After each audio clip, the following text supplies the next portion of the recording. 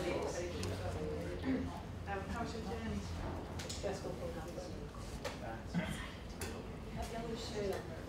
Yeah, sorry. Celebrate that. Um, You're gonna get fine.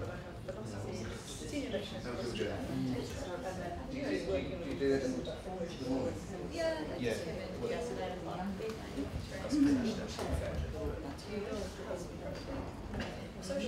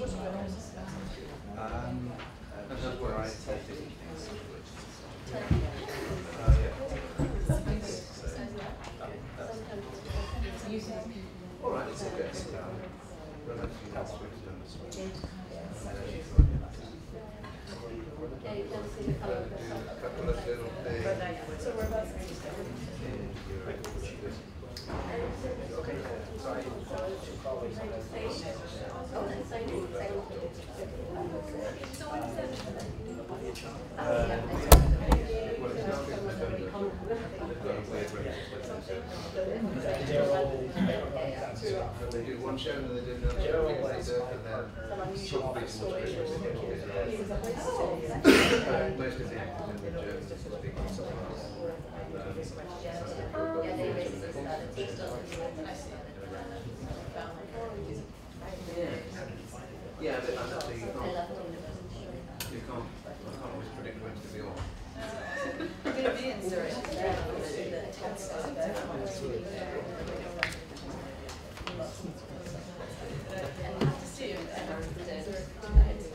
You guys like to be playing? Yeah, yeah, and it might be that you've got up one different day. Yeah, sure. Ah, okay, well.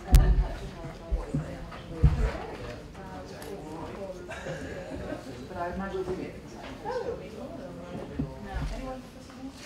building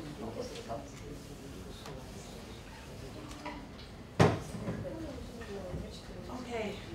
Uh, hello everyone, I'm Tiffany Watt-Smith. I'm a lecturer in the And Drama and a research fellow at the Centre for the History of Emotions, which is hosting this event today. Thank you so much for being here. Thank you so much uh, to, to speakers today, uh, who some of you have travelled quite a long way to be here. Um, it's such an interesting topic and I'm so looking forward to the discussion today. Before we start, I just wanted to briefly let you know a bit about the Centre for the History of Emotions. We um, were founded in 2007. Um, the director is Thomas Dixon, who's um, not able to be here today.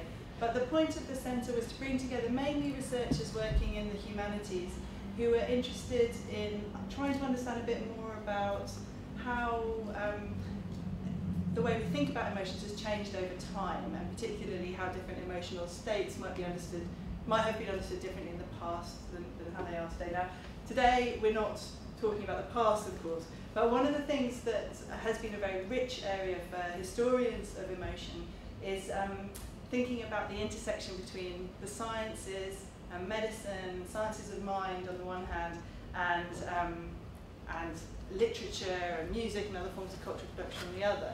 And, um, and that, this is at the centre of what, of what we're going to be talking about today.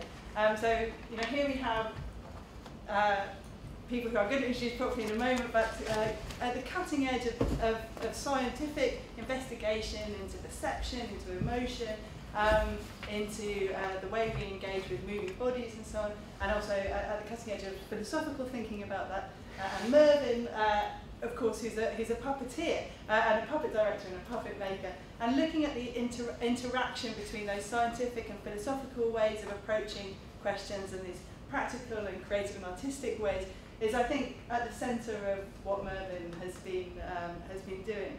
So Mervyn uh, came uh, to me about 18 months ago, I think, with this idea that you really wanted to investigate how it is that when we are looking at a puppet which is so obviously, manifestly not real, not alive, we respond to that puppet as if it has got real emotions, if it has got real intention and, and uh, consciousness. Um, what is going on when we're doing that? And, and as I understand it from witnessing uh, Mervyn go through the process uh, of his uh, Leverhulme Fellowship, so the Leverhulme um, who have uh, sponsored this event today uh, also um, uh, sponsored Mervyn to be an artist in residence at the centre for nine months. And in the, in the process of that work, as I understand it, your, your thinking has evolved and mushroomed and um, many, many questions have, have emerged, probably more questions than answers, like the best kind of research. Um, and, uh, and so here today we're going to be talking about some of those questions and trying to interrogate them a little bit further. Um, so Mervyn Millar is a puppet director and designer. Uh, he won an Arts Foundation Fellowship in 2010. 2010. Um, he was part. He's been working as a as a theatre director and a puppet maker for I guess around 20 years. He's directed many productions in theatres and opera houses across the world. He was part of the creative team for Warhorse. If any of you saw that, I'm sure you will have heard of it. And most recently, and I am personally very excited by this, has created a life-size African elephant which is currently in Vegas. So uh, if anyone wants to ask him about that, I'm sure uh, he'll be very happy. Um, Professor uh, Emily Cross uh, is um, uh, Professor of Cognitive Neuroscience at Bangor University. Um, she is interested in how we perceive movement in space. I'm interested in dance, I think, in particular, um, and, and has been working at the moment on robots and how we perceive robots. So there's obviously quite an interesting intersection there. Um, professor Matthew Longo, or Matt, is a professor of cognitive neuroscience at the Body Lab in Birkbeck. Um, he, uh, in my notes here, says he once donated dollars to a Vegas slot machine, so that's the important Vegas. um, he is a professor of cognitive uh, science and directs the Body Representation Lab. This is a lab with about eight or nine postdocs and students and so on working there. Um, and he's interested in the spatial aspects of touch, the, how we represent and perceive um, bodies in pain and, and, and other kinds of um, uh, somatosensory perceptions, so touch and, uh, and, and other sensations. Um, and again, I think it's quite clear that the you know how, how we're going to think about what bodies uh, what puppets can experience in terms of being touched is something that, that Matt might be able to speak to. Um, we have uh, Dr. Susanne go on say Quadflieg, um, who is a senior lecturer in experimental psychology at Bristol. Um, she's interested in how we perceive faces, um, how we make snap judgments and use forms of prejudice in the way we um, read uh, people that we meet, and she's particularly been looking at the moment um, at advertising and particularly advertising with social uh, scenarios at the heart of them, so couples or groups of friends and so on. And finally, Dr. Joel Smith. Joel is a senior lecturer in philosophy at Manchester. Um, he has been working on a quite a big project about uh, how we recognise other people's emotions.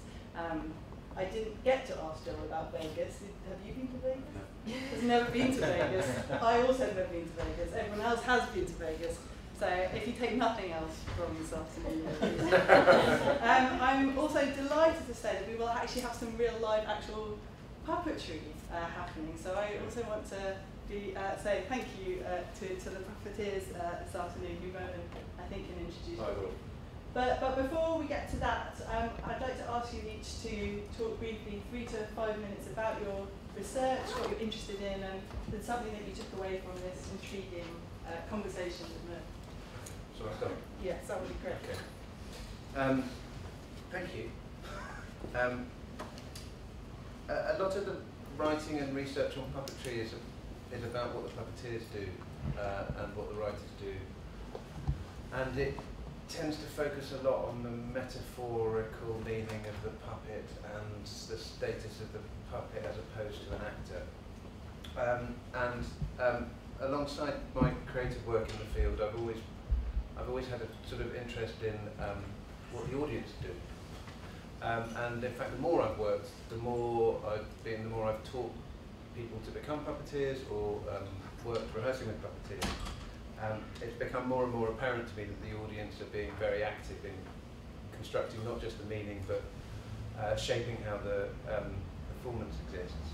Um, and uh, a few years ago I did a, a, a TED talk, TEDx talk about um, puppetry and uh, with quite a lot of speculation and not very much research I talked confidently about how the brain was responding to puppetry and um, I, it's always hung over me that I thought I should probably find out what is really going on. Uh, so, um, Risky, yeah. but bold, I like. Thank you.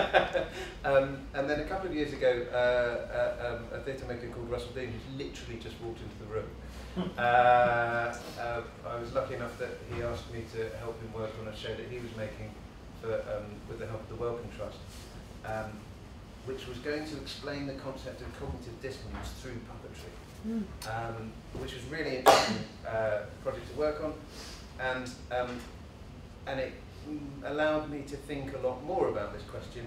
And I wasn't quite happy with the answer. I felt like there were some other questions to ask that uh, we hadn't been able to go into on that process. and then I found out that the possibility of doing um, an application for this sort of artist in residency grant, and uh, was lucky enough with Tiffany's help to write an application that was good enough to get get the funding. So thanks to the Leverhulme Trust for that particularly. Um, and it, it seemed to me that what I really wanted to ask was what's happening in the audience's brain when they're watching a puppet. And I wanted to ask that on the most sort of fundamental level and starting from as first principles as we could. And, and I thought, okay, well, what do I, who do I need to ask? Um, I need to find out what um, what the difference between seeing a person and an object is. I need to understand what, why, what, uh, what, what mechanism is at work when we think something's alive, what mechanism is at work when, oh actually, what mechanism is at work when we see something.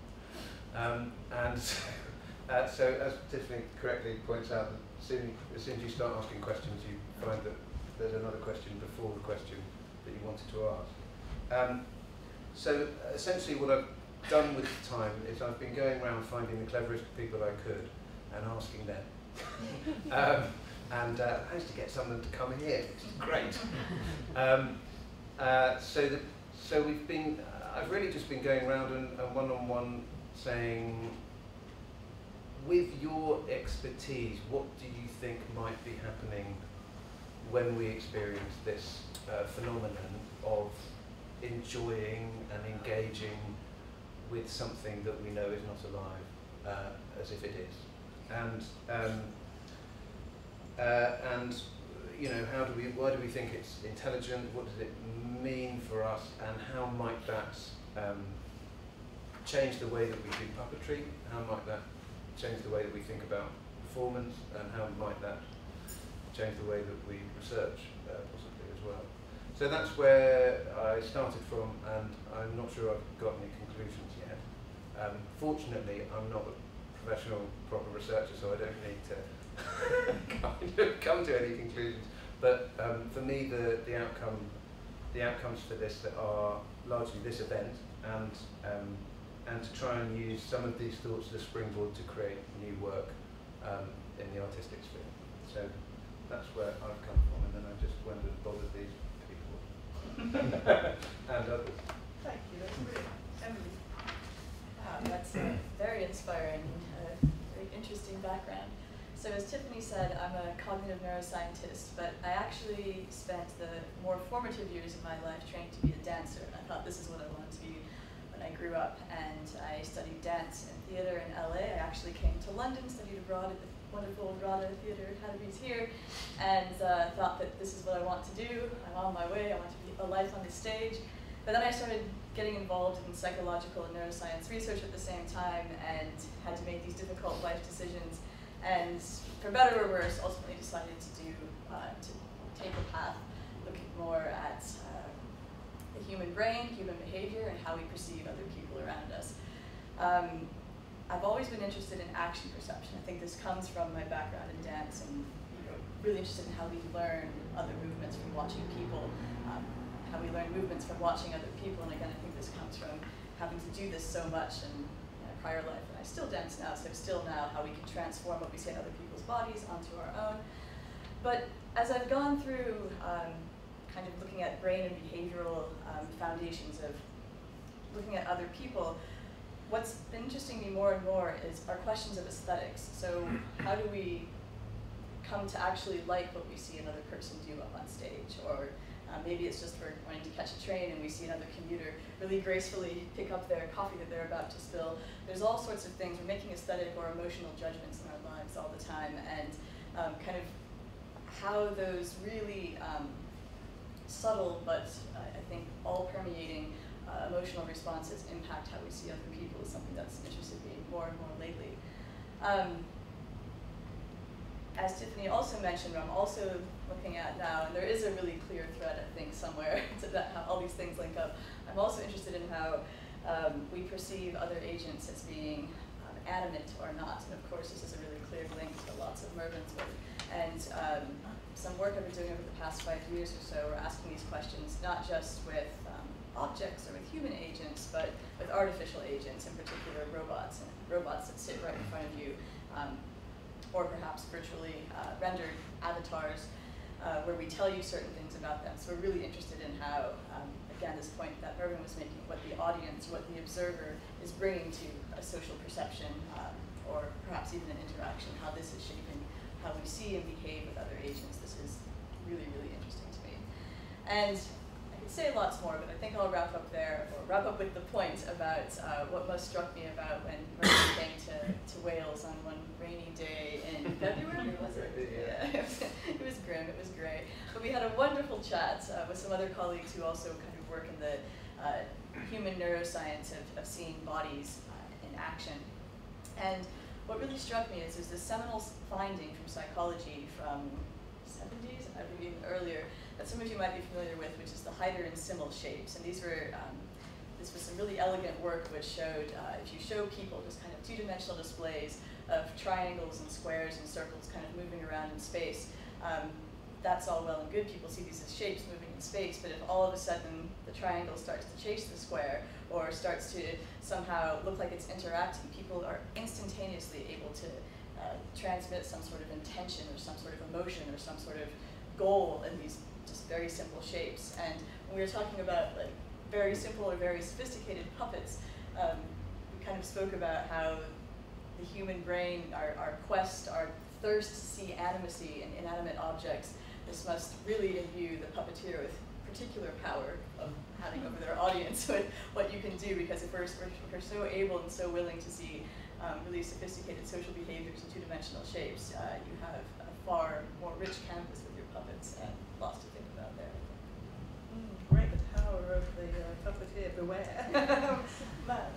Uh, so most of my work, uh, as Tiffany said, concerns spatial perception. I'm interested in spatial perception and vision, how we experience the space around our body, but also how we experience our body itself, how we produce a body image, how this affects the way we perceive the world, and how we experience sensations from our body, um, touch, about the position of in space, um, about pain, um, etc. And I've also been very interested in illusions of the body, um, and I suspect that it was that line of my work that, that prompted Mervyn to, to contact me. And one, one theme in a lot of my, my work over the last few years has been that though it seems that we have very precise and immediate uh, experience, knowledge of our body, um, nevertheless, even perfectly healthy people seem to show striking misperceptions about what their body is like. It's, of course, very well established in, um, in various clinical disorders that there are distortions in body perception. This is receiving a lot of attention in the context of eating disorders, for example. Uh, but the theme for my work is that actually even uh, healthy people seem to have quite striking, or would intuitively seem quite striking, misperceptions about the size and shape of their body. Um, one thing that Mervyn's visit to my lab prompted, which has been quite interesting, is the idea that Tiffany alluded to at the beginning, the idea that when we see a puppet, we can react to it in a way that it seems real to us, um, and we have emotional responses to it that are those you would expect um, from interacting with a real individual at the same time that we know perfectly well that it's not a real person. And that distinction we've, we have been aware of in the work we were doing in the context of illusions like the rubber hand illusion, for example, which is a, an illusion where if you set a prosthetic hand on the table in front of a person and you touch this rubber hand in temporal synchrony with touch delivered to the subject's own hand, they're getting a tactile experience that exactly matches this visual experience, both in the timing and in terms of where it is. And many people report the experience um, that this rubber hand actually is part of their body. And there, of course, um, this you know, quite similar distinction is in place. The subjects feel like this hand is part of their body, but they know perfectly well it's not. They often start to laugh. They're aware of how ridiculous this situation um, seems. And the, the, the, conversation we had with Mervyn about these sorts of issues when he, he presented in my lab made me think that actually this isn't just an idiosyncrasy, this two ways of thinking about it, of, about any sensory experience, um, for that matter, in terms of what we believe about it and what it immediately seems to us. Um, is there in a lot of experiences where it's less salient and we don't think about it. In the case of, of a puppet, in the case of the rubber hand illusion, the dissociation is, is obvious and striking. But it's also there in a lot of situations that it hasn't received attention and it occurred to me that maybe it ought to. Um, and you know, we can see, for example, if you take a water glass and you put your finger behind it, um, look at it from the right angle, it can sort of look like your finger is about twice as wide as it actually is, quite a bit stubbier. Of course, um, you can say, yeah, okay, it looks like my, my finger's like that. I know perfectly well it's not. If you've been unfortunate enough to have dental anesthesia, it creates a subjective experience that your mouth is swollen about this size. Of course, you know perfectly well that that's um, that's not the case. But even in situations where there's not a conflict, so if I look at my finger now and I can sort of say, well, it looks like it has this particular size. It looks like it's about a centimeter wide, and that matches my belief. And so it sort of think, well, there's nothing there, but there's still two attitudes I can take towards my experience, two ways I can interpret or think about the experience. And uh, it occurs to me that maybe it's the, that match in our ordinary experience that is what demands an explanation more than the absence of a match mm. in the case of, of puppetry, um, which, which is so much more striking and which leads us to think about distinction in the first place. Well, to come back to that, it's uh, intriguing. And uh, so, so um, my background is in social psychology. I'm I originally started out being interested in stereotyping, why we stereotype other people, and as I did this work during my PhD, I got more and more uh, fascinated by first impressions. I prefer calling them rapid impressions because I think we can have very rapid impressions about people even after we know them very well. And the important thing for these impressions is that we rely on visual information only to make judgments about invisible attributes. So we look at people's facial expression, their morphology, their body posture, their way of movement, clothing, and we put all this together to suddenly judge their character, their emotional states, their current intentions and goals, things that are not directly visible, but for us it seems like they are. So we look at other people and we think we have access to their inner life, and like I said before, often we get it very wrong because we rely on uh, certain social categories or stereotypes, prejudice, biases, um, that misdirect our judgments. The interesting thing is uh, in this line of research is that many perceivers, when they look at a target as a, at a person and we ask them to judge, they come to a similar judgment, what we call there's a high consensus.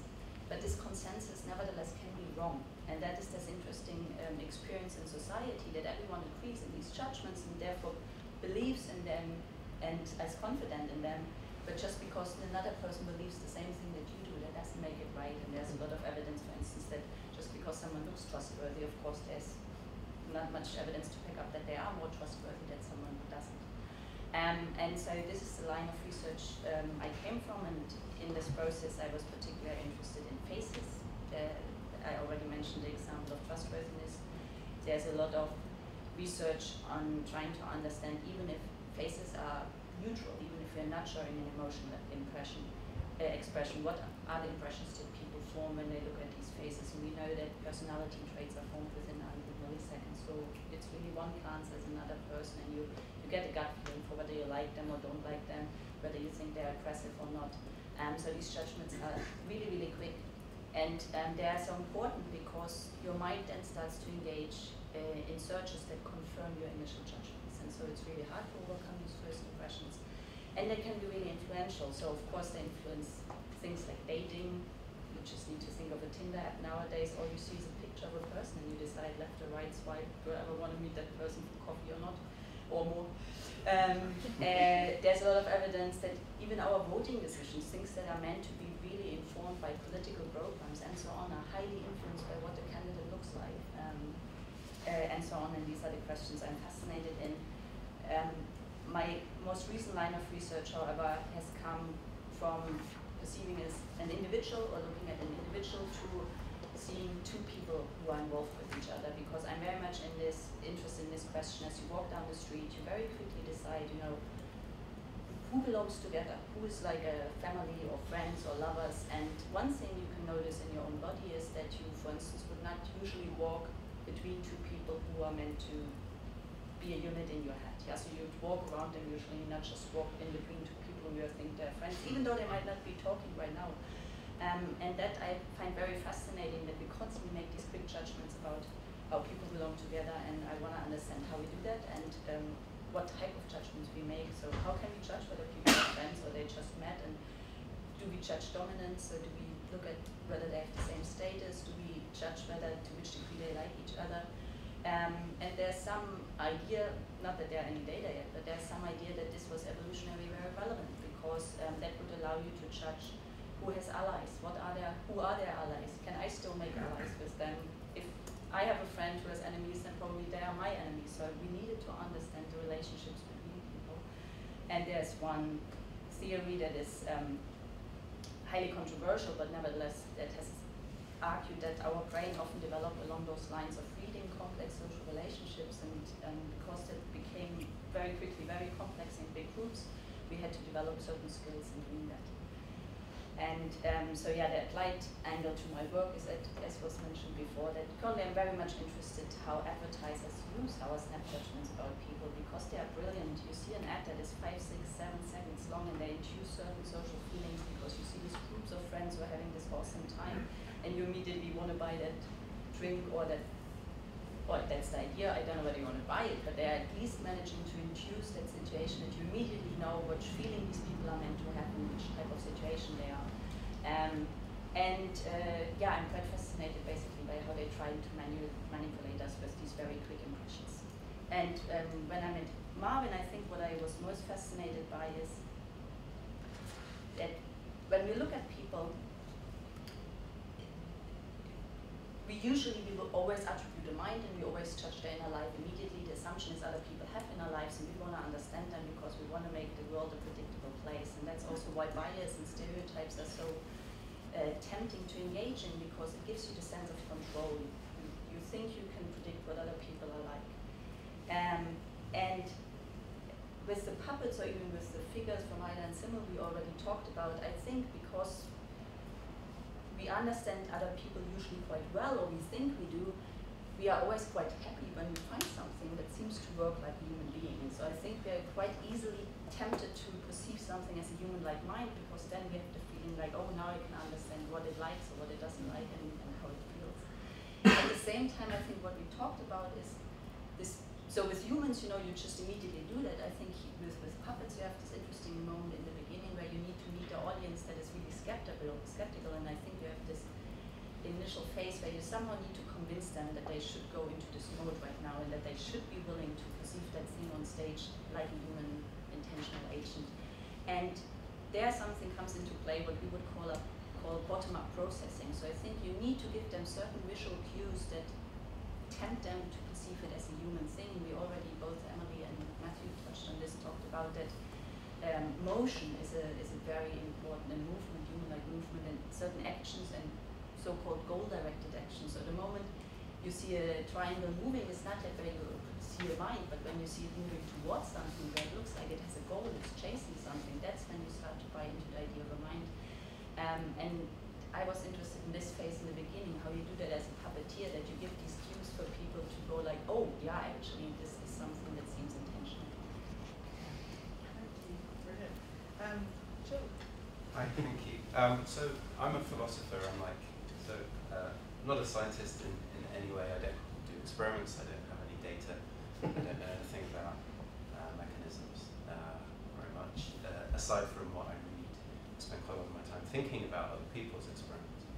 Um, so I work mostly in the philosophy of mind, um, and in particular on two things which are related, but one of them is more what we're talking about today. So the first is self-consciousness and self-awareness.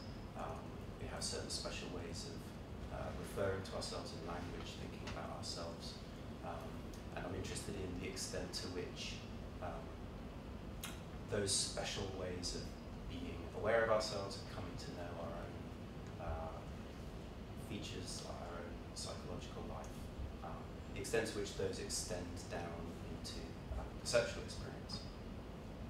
The other thing um, that I work on primarily is um, our awareness of others, and as Tiffany mentioned um, introduction, I recently uh, was involved in a three-year project called Knowledge of Emotion.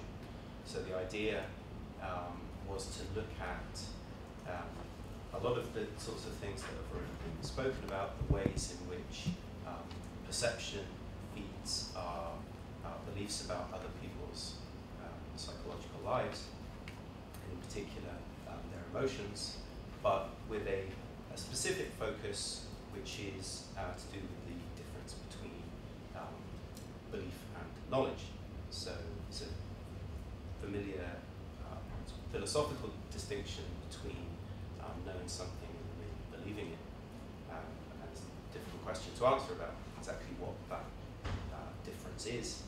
Um, and so the question I was particularly interested in in that project was thinking about um, what it is about our awareness of other people, and in particular through their um, stereotypical emotional expressions, um, that allows us to not only judge that they're in some emotional state, but to know that they're in some emotional state, because we do think um, that we can know uh, what emotional states other people are in by observing them.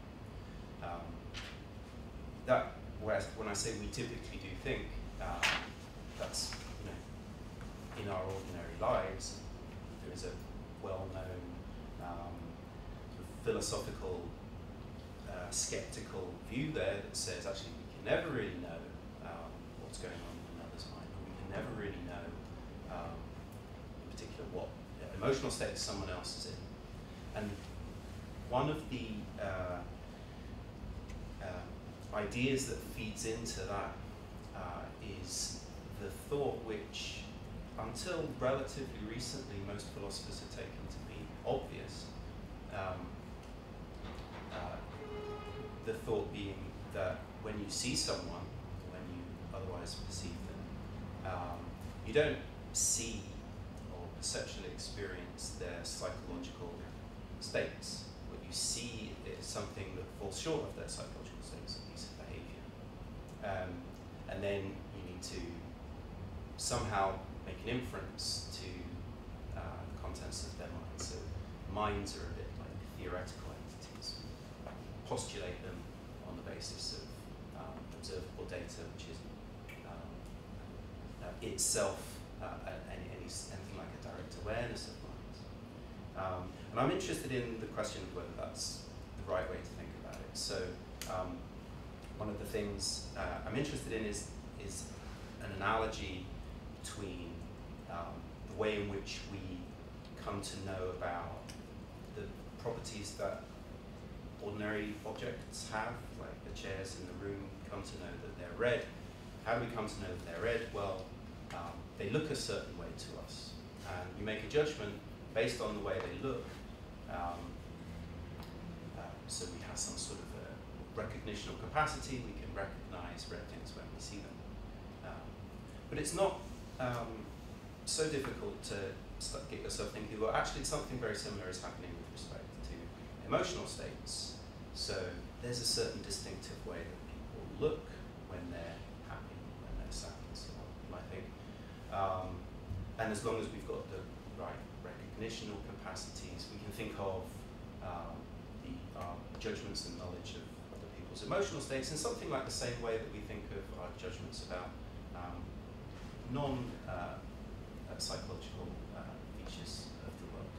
So that was what was going on in my project, and as a part of that, I um, spoke to lots of people working on facial expressions and so on, and most of them told me that I was wrong about uh, the nature of facial expressions, and that in actual fact, um, not everyone says this, is, there's lots of disagreement, but in actual fact, um, emotional expressions are um, massively context sensitive.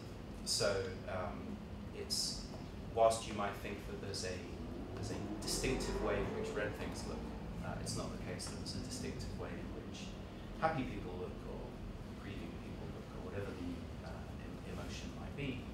Um, not only are there contextual uh, effects on the production of emotional expressions, but contextual effects on um, our uh, recognition of our dispositions to um, to judge what uh, emotional states someone else is in. So then my challenge was to see whether or not a broadly perceptual account of, uh, of our emotional recognition can accommodate. Um, I haven't worked it out yet.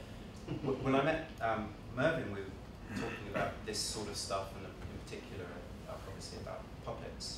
And um, something that um, occurred to me then, which I'd sort of been thinking about a bit, but it hadn't, I hadn't really um, um, struck me uh, with particular force, was that um, when you're when you're perceiving a puppet, or in fact, when you're aware of uh, a, an actor who's playing a character, there are two things that you're aware of, and there are two things that so if you think about the actor, there's the actor, there's the person, and their psychological life. Uh, but then there's the character that they're portraying, and the character that they're portraying has a different psychological life. Has, there are different things true of the character uh, than there are of the actor, and that's obviously the case with respect to puppets. Are different things true of the puppet than are true of the, the character being played. So Warhorse is a horse, but the puppet that plays Warhorse is um, and you need to keep track of these two things, and it can be very difficult thinking when you start thinking about a, a character's um, psychological life, um, working out what it is that um, is special to the character versus um, relevant primarily to the actor. So, for example, in a standard uh, play, the characters don't see the audience the actor is facing the audience with their eyes open. So you need to be constantly um, uh, distinguishing between the, psychological lives of these two things, and that's um, sort of adds an extra complexity to it and is part of the, the contextual uh, aspect of um, interpreting others, right? Because it's all about the context in which you see these people, the reason why you don't attribute to the person standing in front of you the visual experience of seeing you looking at them is because you're sitting in a theatre. Um, yeah. Great. So, uh, okay, so a great range of different perspectives and different disciplines here, which is very exciting.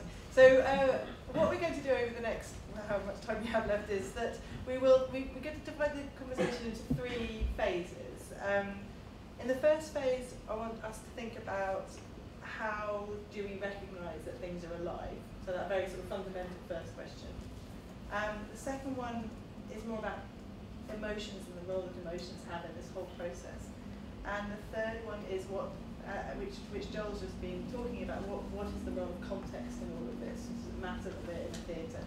and that we know we are and so on. And, and of, of course, sort of flesh out those questions. But in between each of these three phases, we are going to have a little introductory piece of puppetry to help get us focus our minds on this whole problem. So I'm going We, to we thought there should be some puppetry here otherwise. otherwise it's a bit dry. Wouldn't feel right. And so uh, two brilliant puppeteers, uh, David Emmington and uh, Taylor Ustani are here. Uh, and they're going to do a bit of puppetry right now. Oh, right. um, so uh, we, we are in the worst position to see. over here. Yeah, So- should we meet? Should we meet? to Well, we can something tuck else? it over. So backlit now. You're very back there. Yeah, that's it. They're very short bits.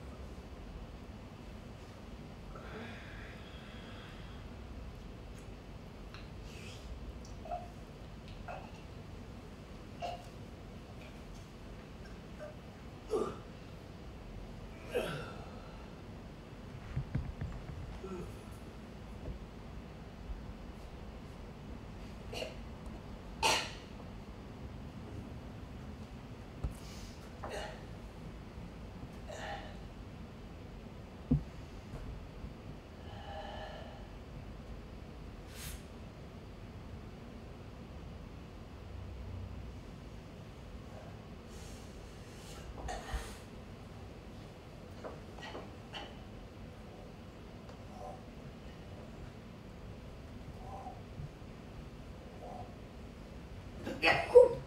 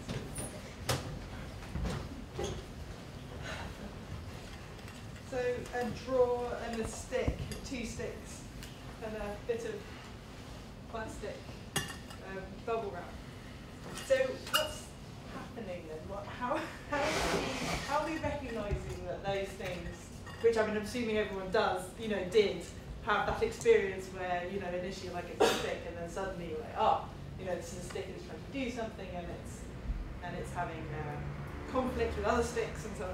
Um, what, uh, is it a sort of glitch? Is it a, a mistake in our perceptual system that allows us to recognise this as these things as alive, or what's happening?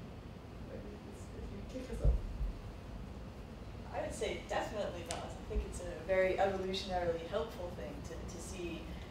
I think this, this idea that's come up in quite a few things we've been speaking of, this animacy. So they don't need to be human per se, but they need to be animate. And you know, to see something that's animate out there, um, as, as Sunny said, we have predictions about other people, we have a lot of experience in our lifetimes of kind of informing these predictions and knowing what's going to happen, but with animate agents agents that aren't humans, it's really important to, to try to make these predictions, to try to figure out from what they're doing, like do we have kind of priors that we can use to think like, okay, that one's being aggressive because the other one, you know, moves back when the, the with the one with the hammerhead moves forward, to describe these characters.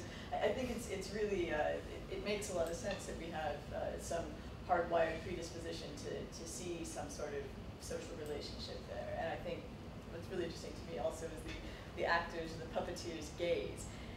Your gaze helps us infer that intentionality because you are looking right at it. You're not looking at us. You're not looking. You're not, your eyes aren't closed. So this is really kind of helping the viewer to zero in on what it is that's going on. Just to, just to sort of tease out a bit more, what, why would that be an evolutionary advantage to be able to?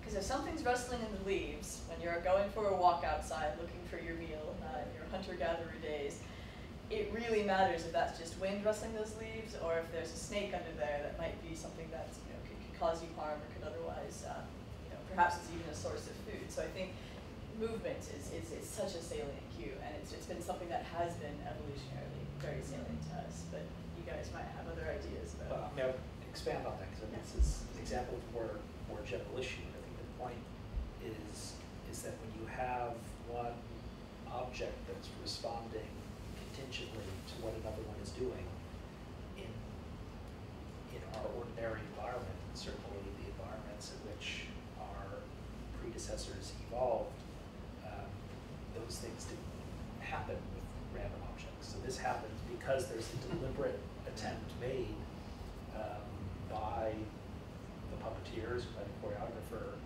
to to create this. And there's a, a very similar issue that comes up perceptual psychology and how do we understand what illusions mean, optical illusions. Does this mean that there's a glitch in the perceptual system? And I think the answer to that is no. It simply suggests that the the perceptual system is making assumptions that are reasonable given the statistics of the reality of the environment we live in. But if there's, in this case, a devious psychologist who creates a stimulus specifically to take advantage or to, to highlight or to, to flout those assumptions, then you get these perceptual experiences. And I think what the puppeteers of the choreographer were doing is, in some sense, analogous to what an experimental psychologist does when they design a new, a new perceptual illusion.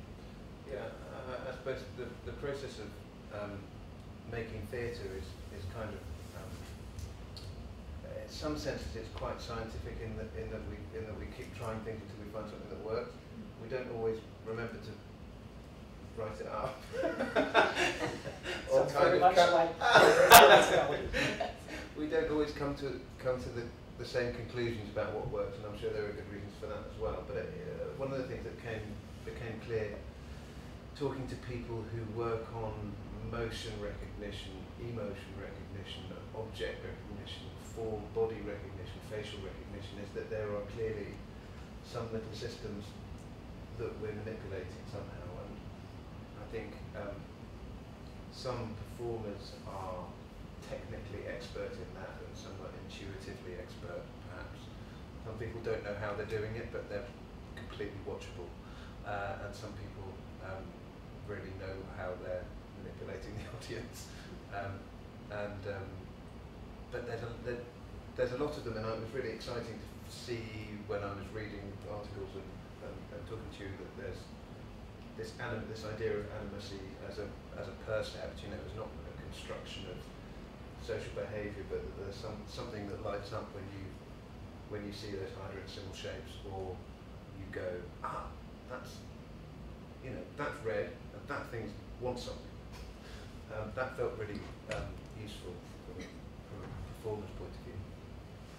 Um, this other question that was coming up already was, was the question of, of other bodies and our own body, and that, that when you know it's a body, I mean, these things aren't shaped like bodies, but is So there how do, yeah, how, how do we know it's a body? Well, I, I think that's what I would have added. Um, we talked a little bit about brain systems, and maybe we want to go a little bit more into details because um, we know there are three important networks that get engaged when you look at other people. And one network is what we call a very low-level perceptual network. So it really is interested in the visual appearance of humans. It, it responds to human faces and uh, the shape of human faces. We all have two eyes over nose, over mouth, everything goes well, obviously, but that is the typical human face. And it is unlikely that when you watch something like this, that this region in your brain will activate because there was nowhere human face there. Um, but there are other networks, one that we generally call the action observation network that Emily's work is very focused on, and another one that we call the mentalizing network that I often work with, that is involved in using these very basic visual cues and understanding what's going on. And there we bring a lot of knowledge from our own experience, so we can use visual information that is not exactly human, but we can start to treat it like a human. Nevertheless, for instance, when we watch this, I'm sure if we would now ask everyone what we saw, there will be less consensus, I think, than with real humans. So, for instance, the hammerhead stick for me, I until the end wasn't sure where the front was and where the. With a human, you wouldn't have that.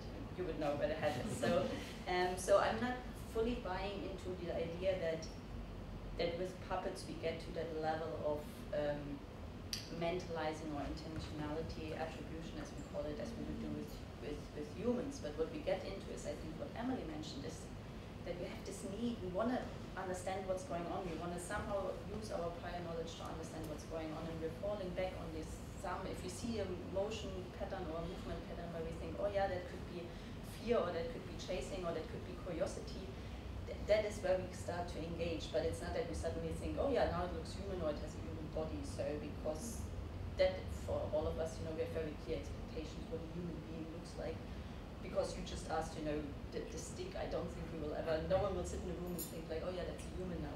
Um, but that is different, this perceptual judgment whether something is human or not is different from this animistic judgment, for instance, and from the idea whether it can have intentions and goals. And for instance, in everyday life, it happens often that with computers, we get annoyed and think they have intentions and goals, even though they don't look human. so we ascribe minds to things that are not human. And, and I think that is what puppetry can often play on. And the other thing I just wanted to mention is, um, I think most of us in the room talk about visual perception, how that is important, but I think what we saw here is that auditory perception is also playing a very important role, and I think watching the same thing without the sounds made would give us a very different impression. So I think that's another uh, interesting observation, you know, how our senses come together to, to infer animacy. Um, and the final thing that Matt, uh, Matt said, Matthew said, um, or you said it as well, that of course we're buying into the idea that some human minds are behind these sticks. So I think that is also different than if you would suddenly just see that little draw and the stick standing up by themselves and doing something. then I think we would not sit in this room and find that amusing, but then we would really be worried that something is wrong. Um, and I think that is important to keep in mind because if we see a puppet in a theater, of course we know someone has thought about this and is wanting to convey a message, and we are willing to trying to understand that message, and that helps us to, to agree on maybe what's going on. Just want to briefly ask what, what since you said maybe no one would agree, what did people think they were seeing? I think one, one of the things that occur, occurs to me is that, that, and maybe on a more philosophical level, is the need that we have to create meaning out of everything. Yes, absolutely. But I mean, just even on a really basic level, like Well, what, yeah, what but was then there are sort of like archetypal narratives, aren't there, that we we we, we automatically um, uh, uh, project onto um, these things in order to create meaning for ourselves. Yeah. So even if even if we hadn't been able to see the actors we would um, invoke a story because we need to make meaning out of it. We can't have it be meaningless. Yes, and actually that whole question of meaning is something that we want to come back to. So how, Right. how is that? But I actually meant on a really sort of simplistic level. I thought, for example, that I was looking at two snakes, roughly, I perceive them as being dinosaurs. dinosaurs. Anyone else? Curious sticks. Curious sticks. it was definitely a bird, right? That, that was a bird, wasn't it? I mean, did anyone think that wasn't a bird? I thought it was a butterfly. Okay, butterfly. Okay. And what about the draw? You See, I take issue. I think that draw was quite human. I mean, it definitely had a nose. That draw to me. I found the draw to be quite sinister. Okay, sinister draw with a nose. Okay, uh, anyone else? I thought it was a it was a eye, not a nose. You thought it was an eye. Ah, okay. Ah, so you're yeah, so you're right. Yeah, I was like, oh, that's definitely humanistic. Brilliant. Um, okay, thanks for that. Just wanted to just check that point. um, so okay, so you're so you know there's a puppeteer, you know it's a stick, and yet you know as you say, you know you invest in this narrative about it. What I mean, are we doing? There's a very old-fashioned literary critical or literary historical term, suspending your disbelief. Is that is that what's happening? Um, That's so old-fashioned that it can't, doesn't even speak to what people think now. I think that um, there's this. I don't think that what you do is start believing that the stick is a bird. Um, because if you start temporarily believing that the stick is a bird, um, then that's going to contradict with your other knowledge. Um, s- no sticks are identical to birds. Um, so you're going to have to, in, in terms of the, the, the, the beliefs that you have, the judgments that you're making all the time, like different people, um, you know, thinking that the, that stick was a different animal. I thought it was a bird, but um, I think you need to you need to bring in the character actor distinction. So so you you um, there was a in, in the uh, some of the other things that uh, other people were saying. There was- the uh, likening of the experience of watching these things to uh, visual illusions, right? So um, it's some object and it looks to be some way, but it's not actually that way. It's, that's an illusion. Um, and it, it's not uh, entirely obvious to me that, that that is what's going on. So, um, I mean, it, it might be, but um, certainly what's going on is that you're continuously making judgments uh, about um, what the things are doing, you're interpreting them. Um, but um, it seems to me what you're not doing is making judgments about uh, about the actor, or not primarily, it's about the stick or about the puppet, but primarily interpreting the character that's being played. So you're thinking about what the bird is doing, if it's feeling aggressive, if it's running away, and so on. Um, and so um, it, it, looks like it's somewhat different from you know, sort of standard cases of uh, where there's obviously an illusion, like something looks some way in which it's not. I mean, there's a, there's a way in which it, it looks, it's, the, the stick looks a certain way, it's moving around and stuff, it's being manipulated, but that's nothing illusory there. Um, so, um, yeah, so I, I think maybe you, you can say we suspend our disbelief, but I, I, in a sense, I think that that's, that's uh, slightly misleading because um, we just form uh, actual beliefs about, but they're just not about the, the stick. they're about something else, about the dinosaur or the bird, whatever it is. So it sounds like you're all saying that that what we're doing here is interpreting and reading almost a set of signals and cues as opposed to believing in something or I don't know, getting infected with some sort of I don't know, contagious emotion or something like that. I think one of the points that Sunny mentioned previously is this idea of top, um, top-down versus, versus bottom-up influences. So when we talk about top-down and bottom-up in perceptual psychology, it's often um, bottom-up is what the actual percept is giving us. So the percept there are two hands, each holding a stick or a drawer, and you know some noises are being made. That's the percept. But very few of us are seeing that, seeing it that way because of this top-down process which is going on. So we're drawing on our experiences, on our knowledge of social interactions, on our knowledge of perhaps theater, all sorts of knowledge. This is the top-down element, and we're kind of retrofitting this scene with a narrative, and that's I think you know that makes that's what makes it easier to read. That's what makes it interesting and engaging to us. So there's this tension between the actual you know, visual input that's coming in through our eyes, going to our visual cortex, and it's in our brain, it's knocking around. But then the real rich stuff is kind of what we're putting on top of that. It's not what's actually coming in. Mm. And just maybe on that note, I think what none of us has talked about, because maybe it's for none of us the main topic of research, but I just read a paper the other day which I found really interesting, is that in, in young children all over the world, so there seems to be a predisposed development is they start with pretend play at some stage, right? And you, I can easily say to a three, four year old, this isn't chair, this is our tent now, or we're going on a boat trip and I'm taking you on my lap and we're going on a boat trip. And, and we, we learn from early on to buy into this idea that we can pretend something's there that isn't there, but if you and I agree, then for that moment it's there. And I think that is also this distinction between uh, that we really believe we are seeing something or that we just know we are now in a shared reality where we're both buying into it. And I think that's a very different thing from really believing that this is now the new reality. It's just momentarily agree on the reality. And I think that's the distinction that we have with puppetry, that people mm. agree on trying to share a reality, but they're not really suddenly in this illusion where they can no longer tell it's a stick. They're mm. just accepting on both sides that the stick is something else. And somehow it's scaffolded on this ability that little children have. So it's not something that we seem to need to learn. It seems to come developmentally, and I think that's quite fascinating. Why why humans do that? Why do we why are we willing to pretend that things are things that they that they are not? That invitation to share a new reality is Yeah. something that I think we can definitely talk about in, the, in that section about theatre because I think that's a really important point, that, that contract that you make temporarily with, with an audience. Should we move on to uh, talk Yeah, I just wanted to democracy? ask, uh, or follow up a, a little bit on both what Emily and Joel were saying, I think, uh, to do with this top-down and bottom-up. One of the um, one of the first things I noticed when I, I trained originally as a, a theatre director and, and started to work with puppets, sort of by accident, um, but one of the first things that I felt like I noticed was that the audience were watching it differently when the puppets came on. And I didn't know what I meant by that when I used to tell myself that, but then, I, then this is me trying to find out.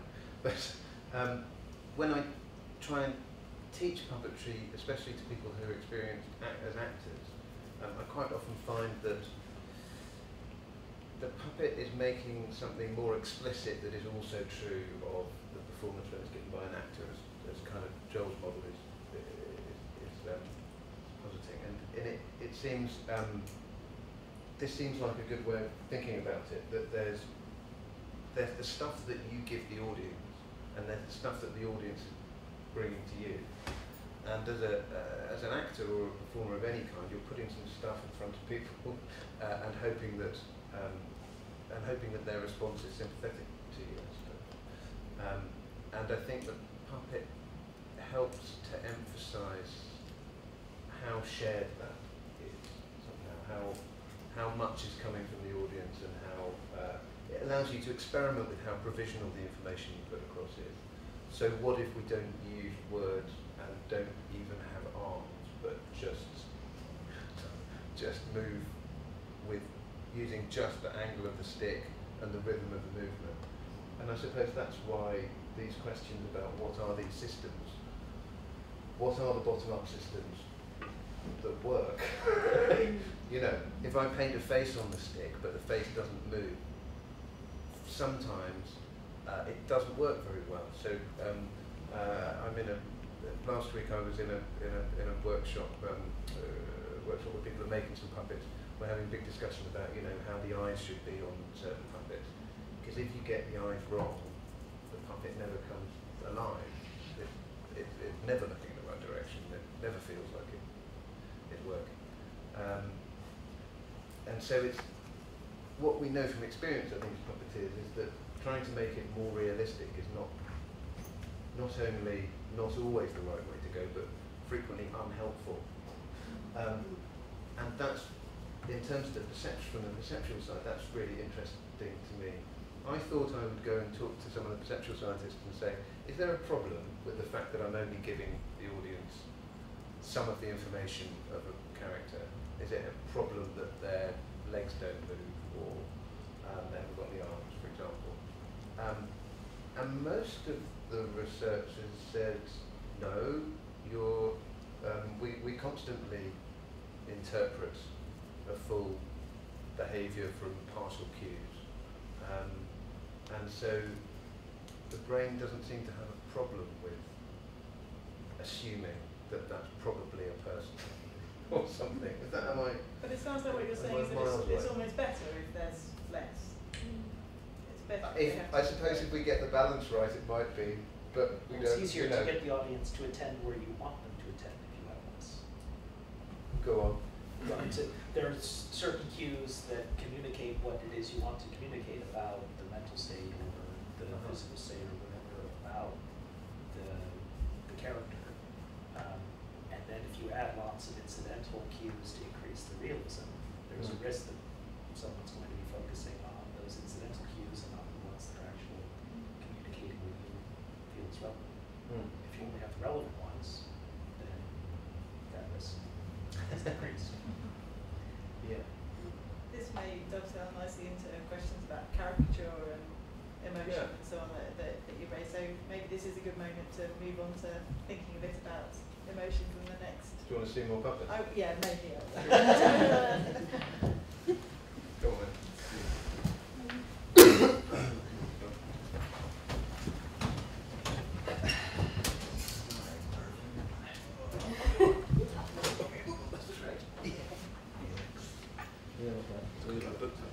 This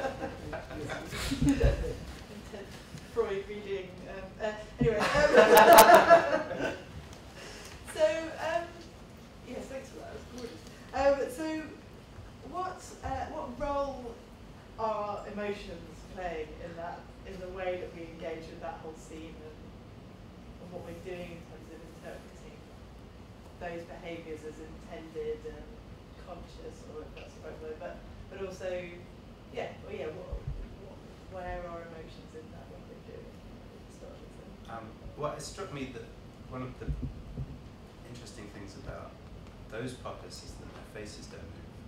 So um, I, I mentioned, um, uh, you know, oh, we think of them being stereotypical emotional expressions, and we associate those with each of the emotions. Um, and those are uh, the, the stereotypes of facial expressions.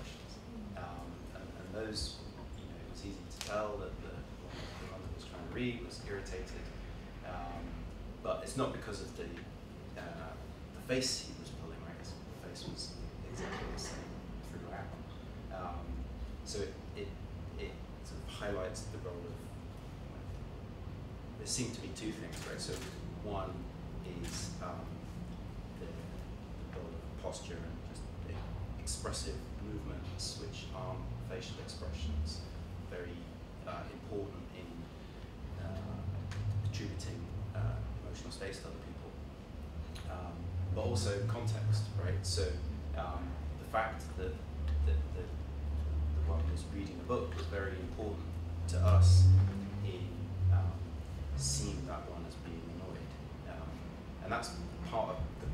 right? We're not looking at anything um, on the face or uh, the body, right? We're looking at the, the, the situation in which they're in. Because we all know that uh, someone's making a lot of noise beside you when you're trying to read a book, a library and so on, that's annoying. So we bring that to bear um, on, on the interpretation. So there was a lot of movement in that scene as well, wasn't there? And as you're saying, you know, that actually the emotions are being communicated through this is something that I think you both could speak to, but yeah, what, what so how where do the emotions sit within those movements? I think we're talking about emotion state, two things interesting here, and one thing that maybe just underlines your point. So there's a really nice study I just want to mention where they took uh, facial expressions of people who had either just lost or won a tennis match um, at a very prominent tournament, so people who were professional tennis players. And if you would just show participants the faces and they had to say, do you think they just won or lost? They were at 50%. So they were guessing a chance. But if you would show them the faces on the body, they were better than chance at suddenly saying, oh, they just won or they just lost. So um, the face was often very considered very prominent, but the more we understand in this research, the more we attach faces to bodies, we realize how we understand the faces is very much driven by the body.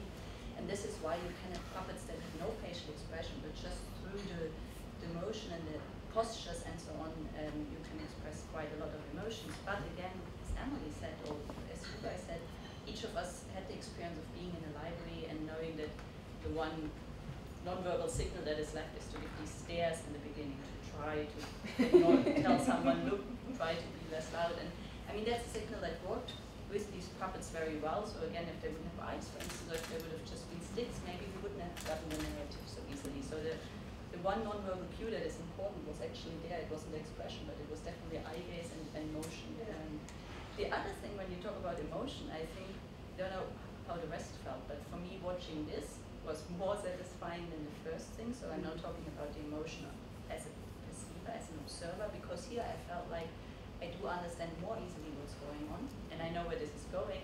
This is the first one I was left a bit frustrated because I wasn't sure whether the narrative I'm building is actually what's going on. And at first you think this one stick is the bully, but then you don't know, maybe now the drawer is the bully, and you're like, wow, what's going on?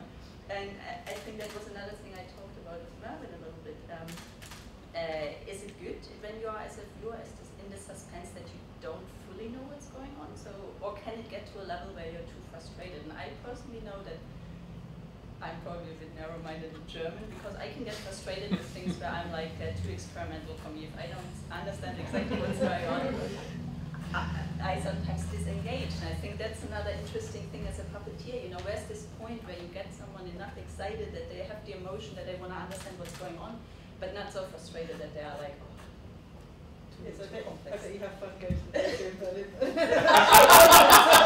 That must be really satisfying. Um, yeah, I mean, I totally agree that there are all these other emotions going on when you're, I mean, I was thinking about sentimentality and nostalgia as well, um, uh, but also you brought up predictability earlier on, and someone else did as well. That sort of satisfaction of the satisfaction of knowing what's Yeah, going on yeah. is a good is a good feeling in its own in its own in its own right. But the but this business of um, caricature that, that that you brought up earlier on, and the sort of the way we sim- might simplify a movement.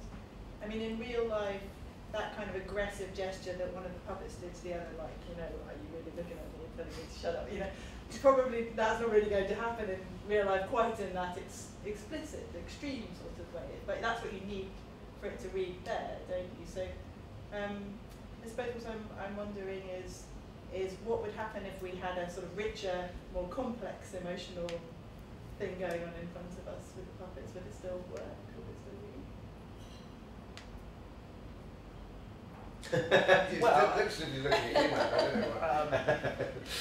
Um, I mean, there were some caricatured uh, emotional displays in there, but some of some of the emotions that were displayed that were very effective, very easy for us as an audience to understand, weren't like that at all. So I, I'm not sure there's anything special.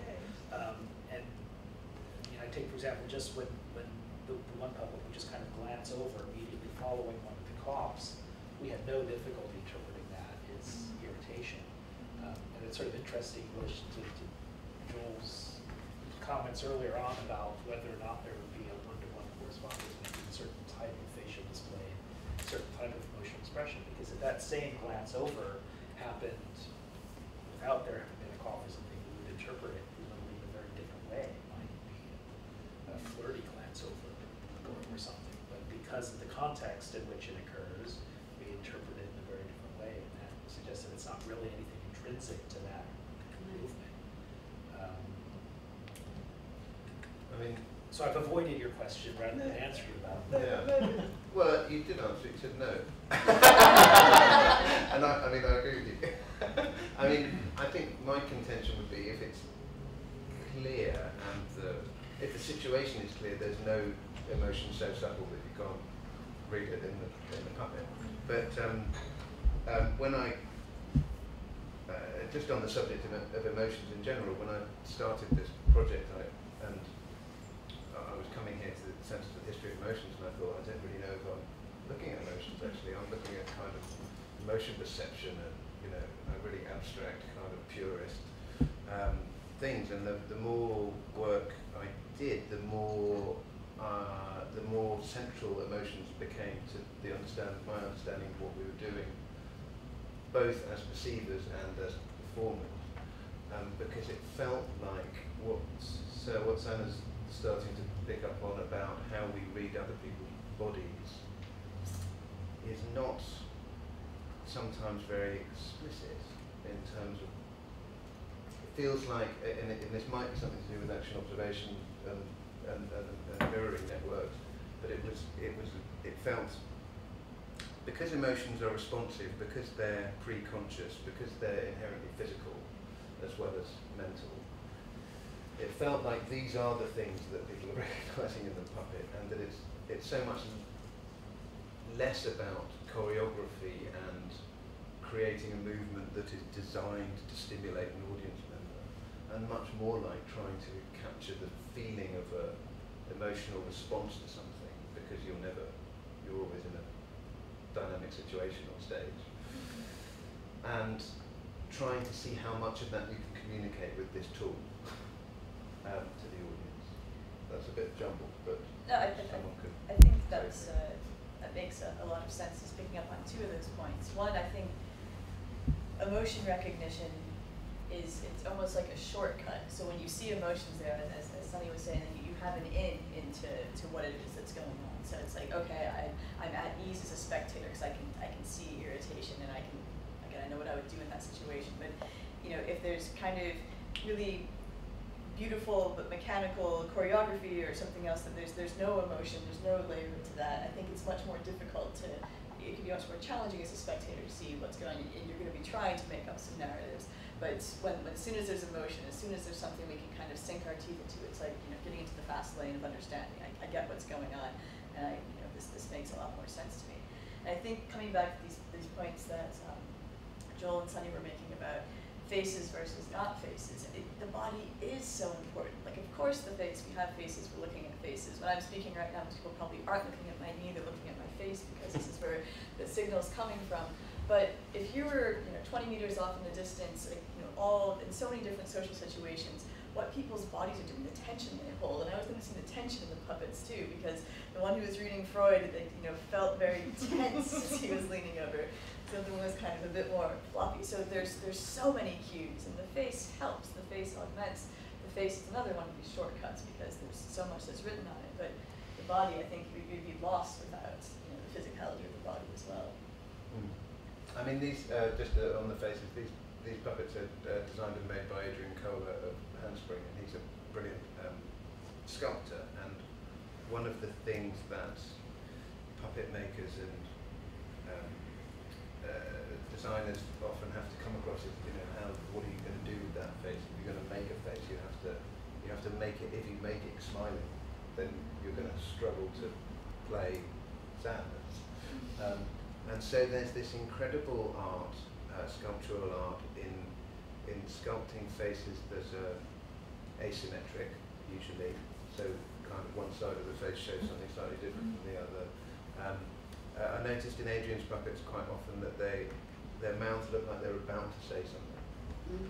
So there's a kind, a kind of expression on your face when you're nearly saying something which is completely ambiguous, um, because that might go in any direction. And it, you know, this kind of art, the puppet is in some way an empathy machine. Then, you know, we need to find out uh, how do you activate this moment of maximum potential uh, in the audience where you where what you're where you're opening up the maximum number of possible narratives or the appropriate number of possible narratives, and in trying to get this all of these empathy mechanisms to work. Um, and again, the, these sort of what to me are relatively recent, maybe not to, to you guys, um, uh, inquiries into how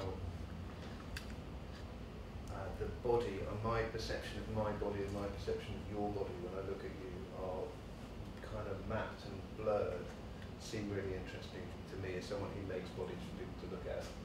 Um, and I don't know if that's if that's activated by this sort of movement or posture or tension. There's sort of an interesting analogy to that. If you make emotional stimuli, mm. psychology experiment, so it's very common. You would take two facial emotional expressions, say uh, a sad face and a happy face, and you want, for experimental reasons, you want to have a whole continuum of faces that are intermediate between them, so you can morph the two faces and make a whole range of faces. But if you take the one that's midway between sadness and happiness, it doesn't look either sad or happy, but it also doesn't look like a neutral face. It doesn't look quite like someone making a neutral expression. It looks more ambiguous than that. Hmm. And um, that's I've always thought that's just kind of a quirk of, of these sorts of stimuli, but it remind, I mean, it, it, it but it's to what you were saying about what the puppet maker is doing is trying to create this deliberately ambiguous, not which is not the same as neutral. No. Um, sort of expression which then you can, as a puppeteer, can presumably yeah. and you'd, be uh, you'd, have, you'd have to be confident that the happy and sad are opposites, wouldn't you, to, to think that the midpoint was neutral. Uh, well, you know, maybe you have to make certain assumptions about what the dimensionality of emotional space is. Yeah. It's a bigger question. Yeah, that sounds hard. So this is probably related to what you were talking about earlier when you say sometimes if you draw a face on a stick, it doesn't work, right? So um, when you when you don't draw the face on the stick, the the the face of the bird or whatever you're seeing is supplied by you. You're imagining um, with the, the faces of the, the puppets, right? If you have enough cues there to be suggestive of everything, right? It's in a certain way, it's like leaving the stick blank, right? Rather than telling people uh, this is how, this is the uh, expression that this um, that this character is pulling, because then you can't manipulate the, the, the sort of the more blank canvas um, by you know movement and context. But it does something else as, as well. I mean, not. I mean, I, I agree with that, but it also makes the puppet thwarted, doesn't it? I mean, the puppet is trying to say something yet forever can't say something. It's a very distinctive look of those puppets. Yeah, you I can't think, get too far. but you know that sort of sense of, of you know, which it maybe relates more to what we, what, uh, you know, that we'll come on to talk about, which is the very sort of actual circumstances of the, of a puppet in the theatre, but but the the idea that the puppet itself is is cannot articulate is also part of the the sentimental relationship with them, I think. Um, but that, that's slightly offbeat for what, for what we're talking about. Can, can I just yeah, add yeah. something because I, I think we all downplayed the role of the face a little bit and at the same time because in the research the face was considered super important and now there's this backlash in the literature but at the same time I want to emphasize that faces do something and I think there's a reason why you now have these puppets and not two sticks reading these books and and because for instance when you look at these faces you immediately I don't know whether you had this impression but you think they're two men not two women the way the, the appearance was and so on so you immediately put them in categories and um, and maybe Emily remembers this, this study better, but there's a really nice study where they ask people, you know, with a robot, do you think it has emotions, it feels pain, blah blah blah. And when we consciously reply to these things, often we are like, no, of course not. It's a it's a thing. It's, it doesn't. But then one of the dependent measures was that they would take the the robot and throw it into the corner, and they basically measured what the response was, how you responded to seeing the robot being mistreated. And with these puppets, if you would just throw them in the corner, I would immediately go like, more than with the stick. And I think, and I think that is really because we have that face which Yeah. immediately suggests humanity. And even though I still am aware this is a is a is a thing, I think the the link that we connect with this thing is much quicker there than with another thing that is not having these facial features. So I don't want to want us to assume that not having a face or having an ambiguous face is the same thing. I don't think so. I think having a human face is a big thing for humans because that's the moment where we think this is potentially conspecific and and our emotional response is very different to something that may or may not have a face. Um, Well, this thing, because I wanted to pick up on something that Mervyn said, that Mervyn called puppets an empathy machine, which is, I thought was quite a striking. Would you, does that, do you, do you agree? Is that, are puppets an empathy machine?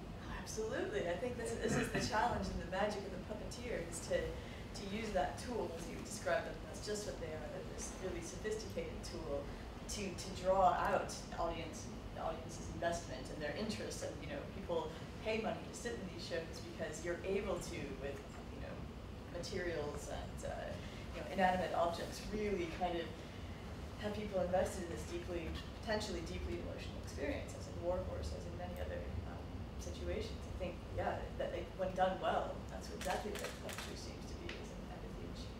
But in terms of what, what's happening in our, for- what we're bringing to the table in terms of that, so if, the puppet is a machine, what needs to happen for it to, to work is not just the puppeteer, is it?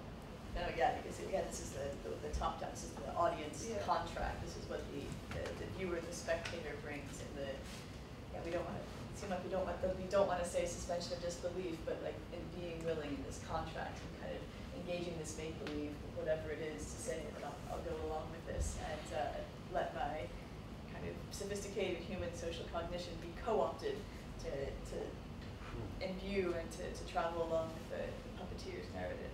But I, I suppose I was pushing on this in this empathy machine because it, because empathy isn't a word that we've spoken about at all really uh, here, and yet probably for most of us that would probably be the first thing that we would say. Oh, I guess we're kind of empathising with the puppets. You know, that's probably how we'd explain it. So, so does empathy is empathy a kind of superstructure to describe all of these specific things that are going It- on, or in the relevant? philosophical literature, and I'm sure this, this is sort of in, entirely familiar to everyone else, is broadly speaking to um, ways of thinking about how we go about engaging, interpreting? So there's one view um, which is sometimes called the theory theory, which uh, says that what we have is uh, an, an innate theory of how the mind works. Um, and uh, we're not um, aware of all the features of this theory, but it's what we bring to bear on um, uh, people that we see in order to interpret what they're up to, what we think they believe, and so on. So it's um, often thought of, of on the model of our understanding of um, grammar. So we have the idea is that we have an understanding of how sentences get put together so that we can distinguish between a grammatical sentence and an ungrammatical sentence, even though um, if you were to ask me, I would be very bad at telling you what the rules of, what the syntactic rules of English are. when I can speak it, um, that's the theory view. And the other view is the empathy type of view, sometimes called simulationism.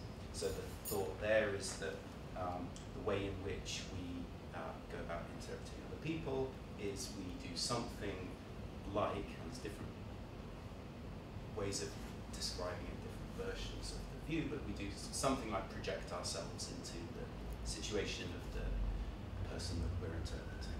So,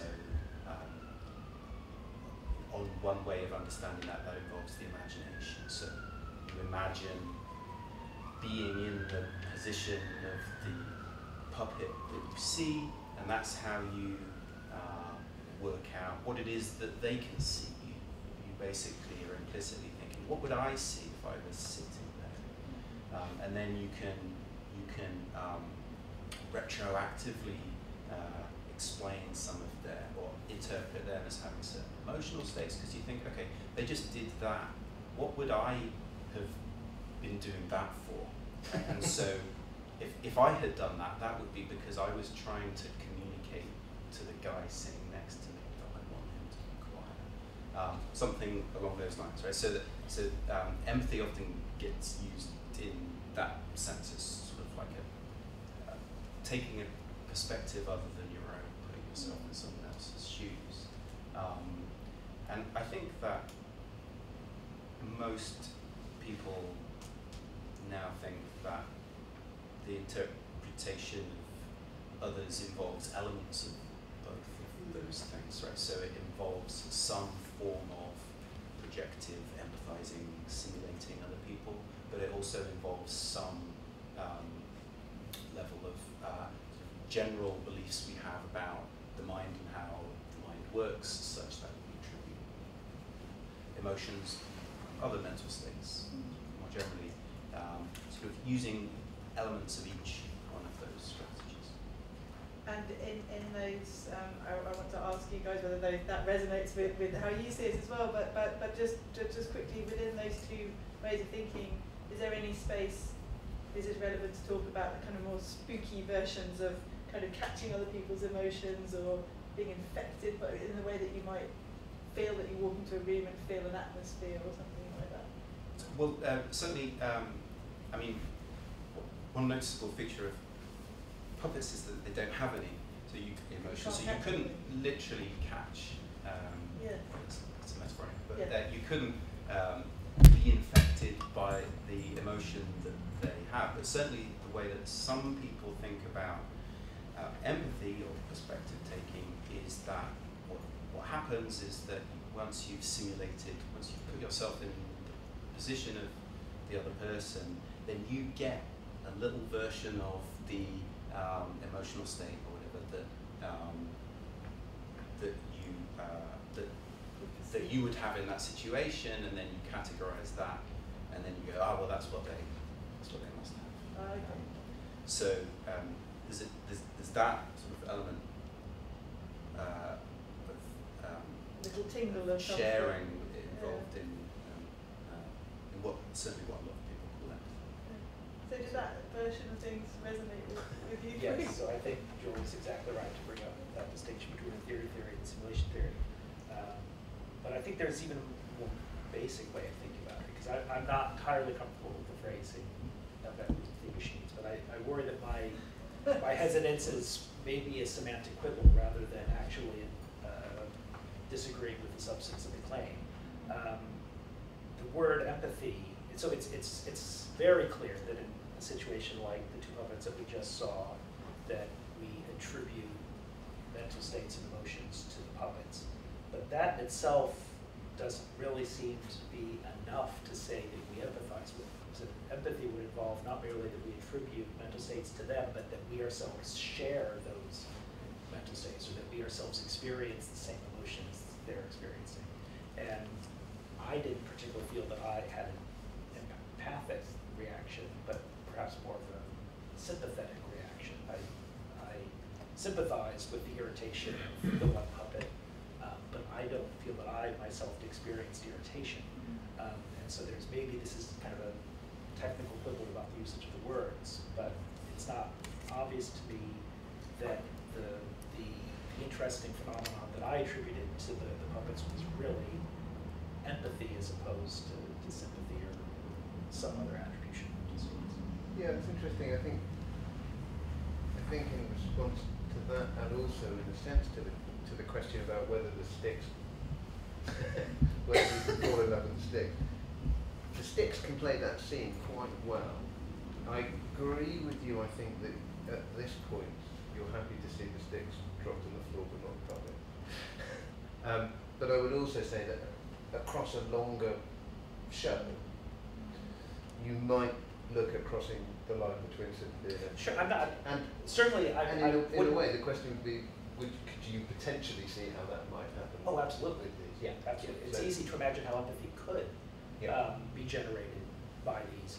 But if it was merely a sympathetic and not a fully empathic reaction, it would, I, I, I don't think that that would be a counterexample to what is really interesting about it. That's right. I, I think we talked about the sceptical audiences already a little bit. We, we, we should later as well. But and I think as a performer, you're aware that although some of the people might be empathising with you, many of them are only sympathising. And on that bombshell. Ah, uh, I'm not sure only is the right way to put it. yeah, well, absolutely, yeah. There's a whole Yeah. different layer of There's nothing wrong with sympathy.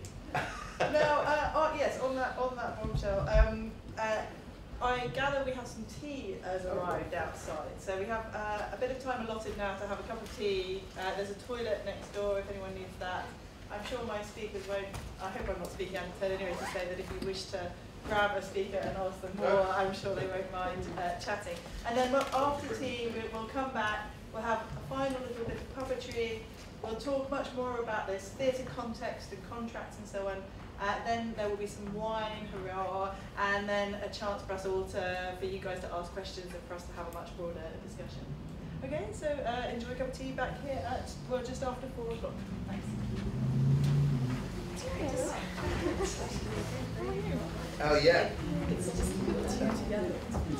That's what you do with the- Trying to remind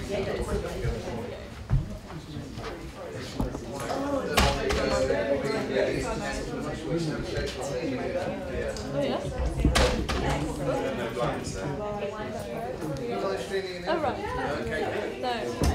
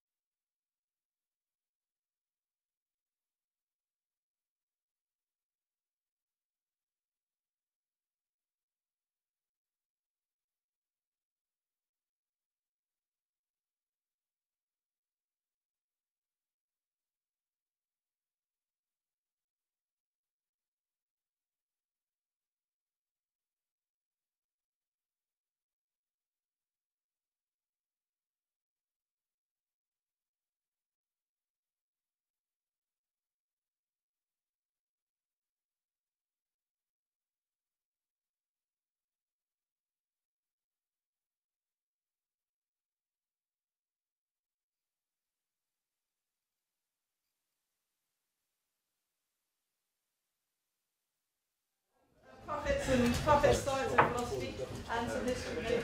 Um, we're going to start off with a bit of uh, a bit more puppeteering first, and then on to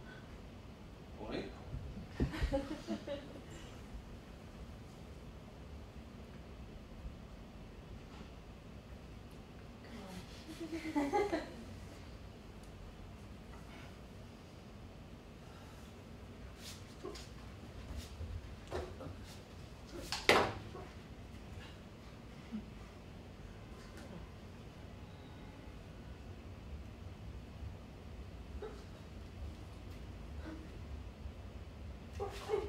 Thank you very much for that, and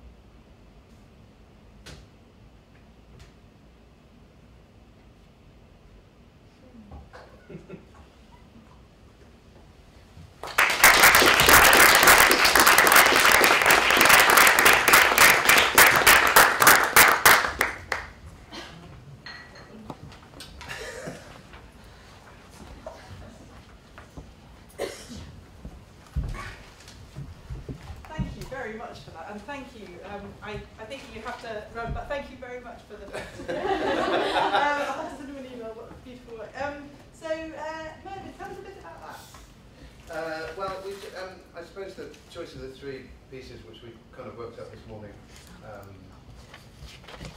was a, a thought that we, with the objects you have um, a really limited amount of information to work with, as we've said. Um, and if you're puppeteering those objects, then you know that you know instinctively in a way that there are different things that the audience will, will respond to, and, and, and you quite often play close, a little bit what I would call closer to the animal. Um, uh, although they're perfectly capable of feeling kind of complex social and human thoughts, um, there's something that might be interesting for us to talk about, which is that socially humans try to repress some of their physical body language, and you would find with that, that kind of puppet that you allow some of that to come a little bit close to the surface. Um, the second piece clearly was a bit more about trying to give you a, a, a more figurative puppet that could do a social interaction, and um, and then the third one was really to remind us that um, the puppets aren't always trying to be like people, um, and that um, well, quite a lot of my professional life is spent working with theatre companies who would like a puppet to behave in a naturalistic way, uh, like an animal to behave like an animal. Um, but that's absolutely not the limit of what puppets do, uh, and certainly not of what puppets do successfully. So one of the things that puppets do successfully is the impossible. Um, and yet, even when the puppet character, uh, a puppet character might, while feeling angst, might curl itself up into a ball or disintegrate or float up into there or explode. Um, the audience is potentially quite happy to relate to that as an emotional experience, even though the physical expression of it is neither uh, realistic or, um, or familiar uh, or plausible. So um, I just thought it might be useful to throw us into a slightly different meaning of what the puppet does, which is not completely imitative um, as well, to, push us into the next bit of chat. Those, some of those, some of the, well, the very distinctive thing about that was with, with these bodies coming apart, wasn't it? And where we ended the last conversation was, an, was partly an idea that that if, if, if puppets are sort of empathy machines, then part of what's going on is that we're relating our bodies to to what those bodies are doing and then feeding back into some sort of glimmer of that emotion and then feeding that back into, into how we perceive them. Can we can that process work if, if heads are flying off shoulders and you know the body is cut in half? I think it definitely can. I think um, to just throw a tiny bit more theory in, theory, theory, and simulation theory. Uh, another uh, theory that psychology has from developmentalists uh, is known as the like me theory, and it suggests that a lot of our understanding of the social world is these are ideas that we've been talking about. In other ways, we use ourselves as a template. So I can make sense of you because you look like me or you move like me, um, you have a body like me.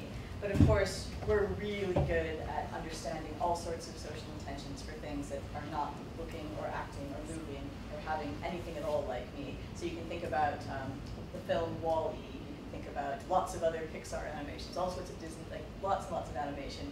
We imbue all sorts of non-body, non-embodied um, entities with very real, rich emotional lives and uh, intentions and desires. So I think you know you don't necessarily need yourself and your uh, your bodily experience to make sense, and you can still very much see what's going on with the, the torso and legs decoupling. And I think that some of the excuse me, neuroscience research is showing us is even, you know, these mirror neuron type regions of the brain, these parts of the brain that link up perception with action. In my experience with what I'm seeing others doing, I don't have to, our brains are much more flexible. We don't have to have the other agent looking and moving just like us in order to use these same simulation mechanisms. And that much greater flexibility in information processing, um, in artistic processing, I think gives the artist or performer a lot more latitude in what they might put on stage and what might capture an audience member. Mm.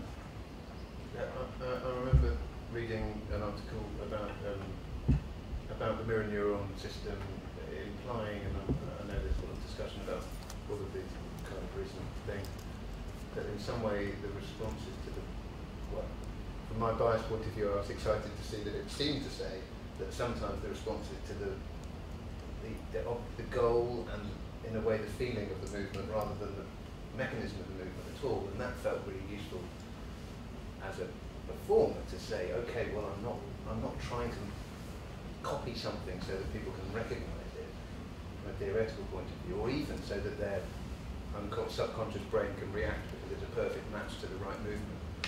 We're looking for some qualitative kind of feel that relates and that feels like I'd love to know how that works. More about how that mm. works, or uh, or whether that's to do with this slippery embodiment of is what we're doing making that enough like a body for us to feel that it's a body. Well, to the extent that we're, we can easily attribute mental states to sticks or yeah. drawers, as we saw in the first performance, or to triangles and circles and the height symbol that Emily mentioned, um, given that, it's not shocking that we can attribute motions to a pair of legs or an upper torso. Um, what, what was interesting to me about that piece is that the, the choreographer, puppet director has deliberately uh, used that to to um, conflict with the fact that we ordinarily attribute mental states to a particular level of biological organization that of an individual. Um, but the mechanisms by which this happens don't seem to be surprising, given that it seems much more striking to attribute mental states to a stick or a triangle. I think one thought I had is, um, I mean, what I love, and I think maybe that's what Mervyn is opening up, is that obviously with puppetry, anything can suddenly turn from a non-agent into an agent. So in the moment, first we're thinking it's sitting on a stone that happens to look like a skull, but suddenly that thing becomes also something animate. Mm. Um, so you can play completely with, in real life obviously we have expectations, something's animate or it isn't, but in the puppetry world anything can suddenly be animate or not animate.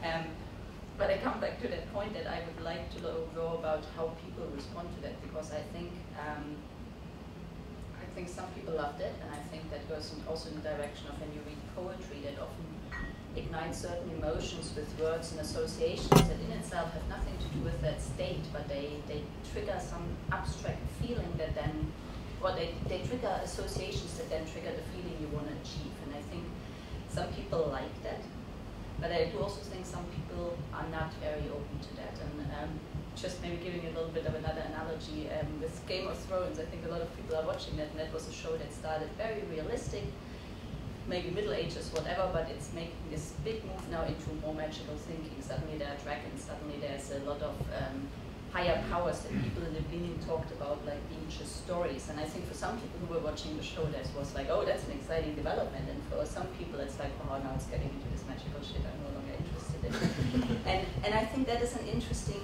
question, how people respond to that. You know, does it have to be realistic what I'm looking at? And do, do I like when things that are animate can suddenly be inanimate and when this, these, these boundaries suddenly disappear?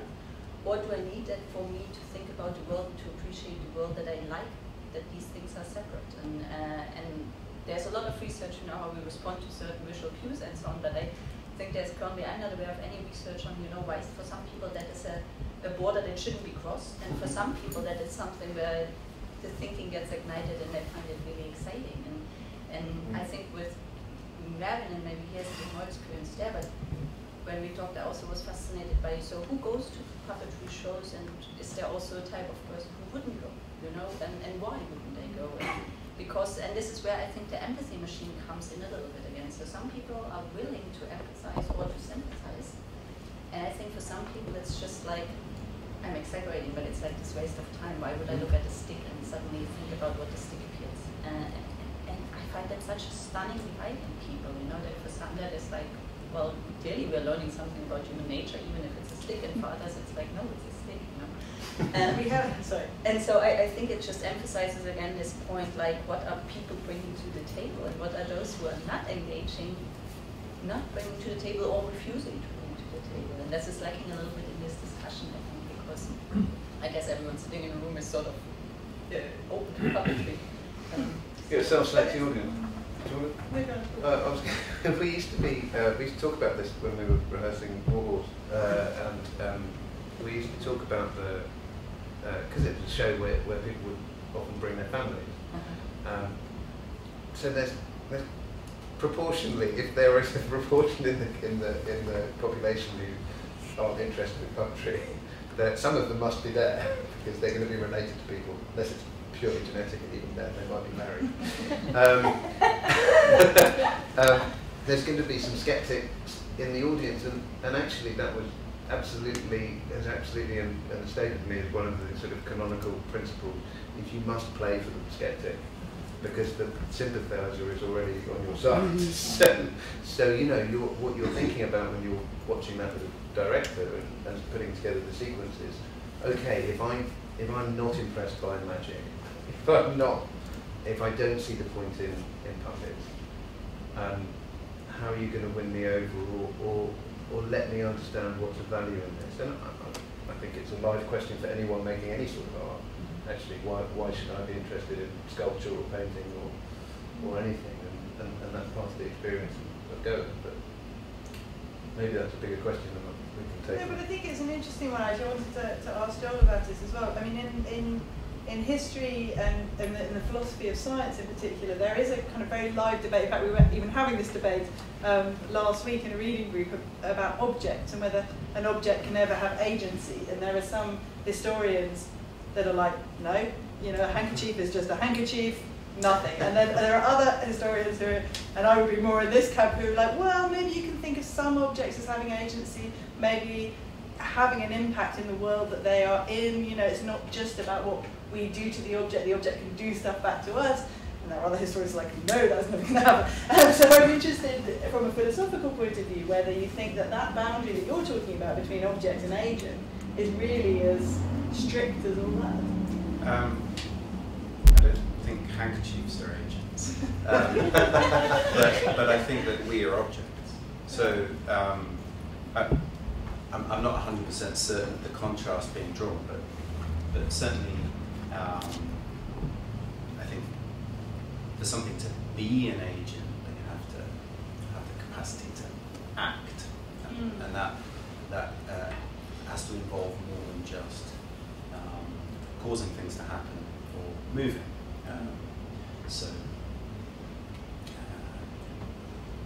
the earth moves, the sun moves, causes things to happen. I think you, when you attribute agency to something in the sense in which we ordinarily mean it, you, you do think of something much more such that the uh, uh, movements are um, uh, controlled by something like an intention. And so that when we're interpreting the um, puppets, um, we're interested in, amongst other things, their intentions, what their, what their goals are, what they're trying to achieve. And insofar as you're thinking of them as um, as things with agency, I think you have to be thinking of them as things with goals. Um, so I guess I'm not familiar with, with, the debate that you mentioned, but I guess I'm on the side of the historians who, who think that um, who think that handkerchiefs are just handkerchiefs. but when a body is possible uh, when a human is possibly an object. So I'm thinking about Bergson or someone like that. You know that there is suddenly a moment when the the human can be can have agency in the world, but no intention, no goal, just you know slipping on a banana skin and setting off a chain of events that result in experts being run over by a bus. Um, so it, yeah, so inanimate objects uh, can, can certainly make things happen. Um, that's that's but that's not pretty clear. I think that that's that's uh, that is different from agency, um, and the way in which our uh, all sorts of our social and interpersonal practices reflect that. So um, simply making something happen doesn't make you responsible for that thing. So um, it, it may be if, if, if you push me um, and then I jog into someone else and that other person falls over, um, you wouldn't hold me responsible for that because I, whilst I made it happen, I was uh, a, a, I played my role in the chain of events that had that outcome. Um, I wasn't the agent because it wasn't an action uh, of mine. It was in fact an action. But, but by that thinking, isn't it the case that you wouldn't hold the puppet responsible for anything that's going on stage? Because it's it's the hand of the, the actor, the puppeteer that's doing it. Yeah, so so I think that that's where you have to draw the puppet character distinction. So I don't think we do hold the puppet responsible. We don't hold the brush responsible for breaking the thing, um, but you might hold the character responsible for a for actions that they perform or I mean, it's difficult to, to know exactly how to describe that stuff, but actions which you're imagining that they're performing or something like that. So, um, so yeah, I think that's okay. the separation of the character and the puppeteer has come up for me quite a lot in this thing when I've been trying to put any of this together in it. Um, I suppose it's something that you do anyway when you're preparing a performance, to think about the, the character as a, as a thing. Um, and um, I was interested when you described them, what did you call them, theoretical entity. Theoretical entity is created. And when we when we when we when we imagine that character sufficiently clearly, and it struck me that what's different between making a performance where I play Lady Bracknell and a performance where a puppet plays Lady Bracknell is that I'm putting that character into this into this space. I'm not asking you to blur the line between my body and the and the character's body. I'm I'm creating a vessel with carved out of wood or whatever it's made from, and putting it between us, and saying, let's both put our ideas about Lady Bracknell here in this thing. Um, and that feels to me like quite a fundamental difference in performance and in terms of what you're asking the audience to do. And it seems to crystallise for me in a way, if you watch Judi Dench in a play or a film, you know it's Judi Dench. It's always Judi Dench, isn't it? I mean, you know, it's still her, however, whoever else she's playing. And however well she's playing, that's not a slight on Dame Judi Dench. um, you know, any excellent actor who you've seen many times brings with them all the memories and associations of all of the other roles you've seen them in, and the fact that they look like that lady who works down at Sainsbury's, and the fact that what they're wearing reminds you of something that your great aunt used to have. The puppet has the option of not doing some of that stuff. Um, and so it might be that that changes the way we're stimulating the imagination of the audience by not having a body, but by somehow putting those rhythms and movements into something proxy. Um, I haven't finished the thought in my head either. Yeah, does anyone have any? Because you're all sort of nodding, like, yeah. Yeah, that's why I thought they might be able to pick me up. Joel, a couple times has brought up this nice distinction between the, the, the character and the performer. I think was the terminology you used. And I've been interested, as we've been talking about the issue of animacy, is that the issue of animacy in the puppet seems quite different from this distinction, because essentially the performer, the character shows up in, with an actor, with Judi Dench just as much as it shows up with the puppet. And so I've been thinking about this as if that distinction, Joel's distinction, shows up in the same way with the puppet and the actor, but that with the puppet there's this additional animacy thing. Apparent. But now, listening to you talk, it makes me think that actually maybe it's not just that there's a common character performer distinction in both cases with an additional animacy bit in puppet, but that there's a more qualitative difference between the two situations.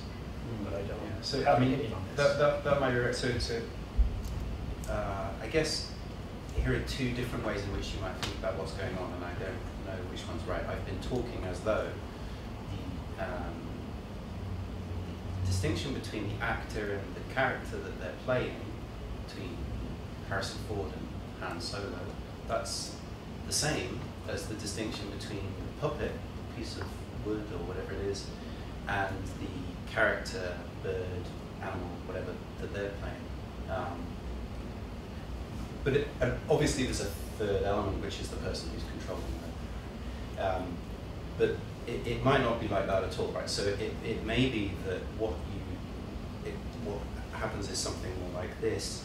It's like a game of role play or, um, sorry, not role play, um, pretense, where you say, okay, let's, like in a child's game, let's pretend that this stick is a sword. Um, and so um, there's a sort of an, an, agreement, as people were saying earlier, to treat one thing as though it were another. Um, and so there you might think that the, the distinction between the, the, the character um, is much closer to the, the actual puppet than they are to the actor, even though it seemed, initially it seems the other way around, because you think, well, it's much easier to conflate actor and character since they're both human beings and they're both standing in the same place. And, and they look the same. The, the character's got to look like that actor, um, but the character in the um, in the puppet case, you, you sort of imagine more. That there's in many cases you imagine that there's more of it there than you can actually see. I don't know if this is the same with others, but um, with the brush and the head, um, I was sort of imagining an invisible body linking these things. Um, it wasn't Mervyn's body. Um, and so you might think, oh, there's an obvious distinction, like much easier distinction to be drawn between the, the materials, the, like the actor, the real flesh and blood person, and the character that they're playing, on the one hand, in in the puppet case than there is in um, non-puppetry. But, but actually that might, might not be right. So,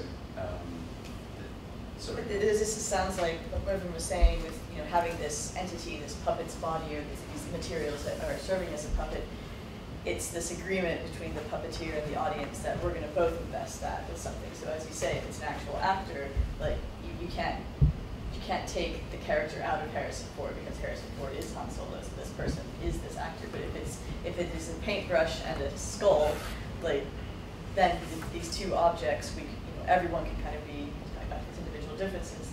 Like Sunny was saying, everyone can kind of imbue that with their own reality, and there's not as much baggage with the real physical instantiation of the person there. And I think maybe that's that's part of the magic of puppetry in many ways because it's, it's, much more flexible.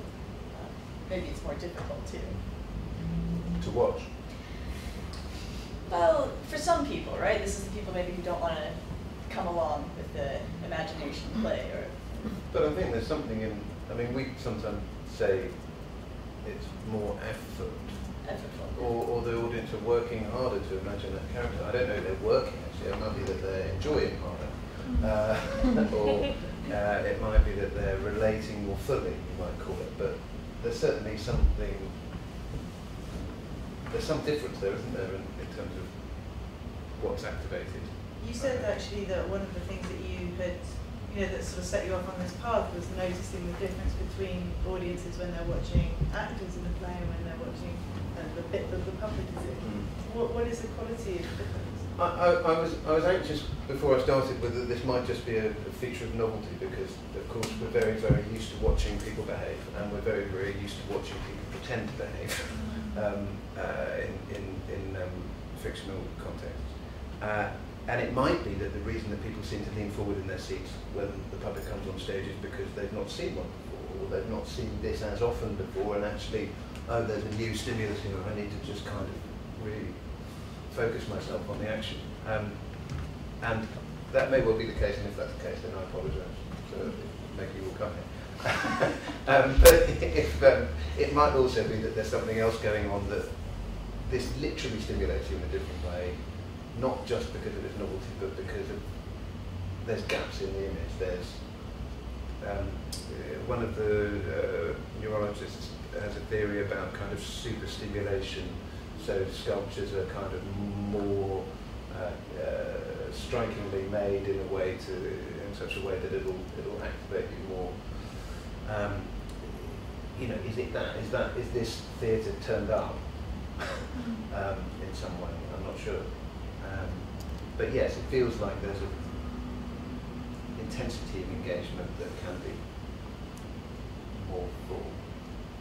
I would argue the other way around. So with humans, we always have this, and this is why uh, stereotyping and prejudice happen, that no matter what you wear, I can judge usually uh, whether you're male or female, your age roughly based on your movement and posture, and often, unless you're completely covered, I can uh, judge the features, so the racial background the person has, and we call them the three big social categories.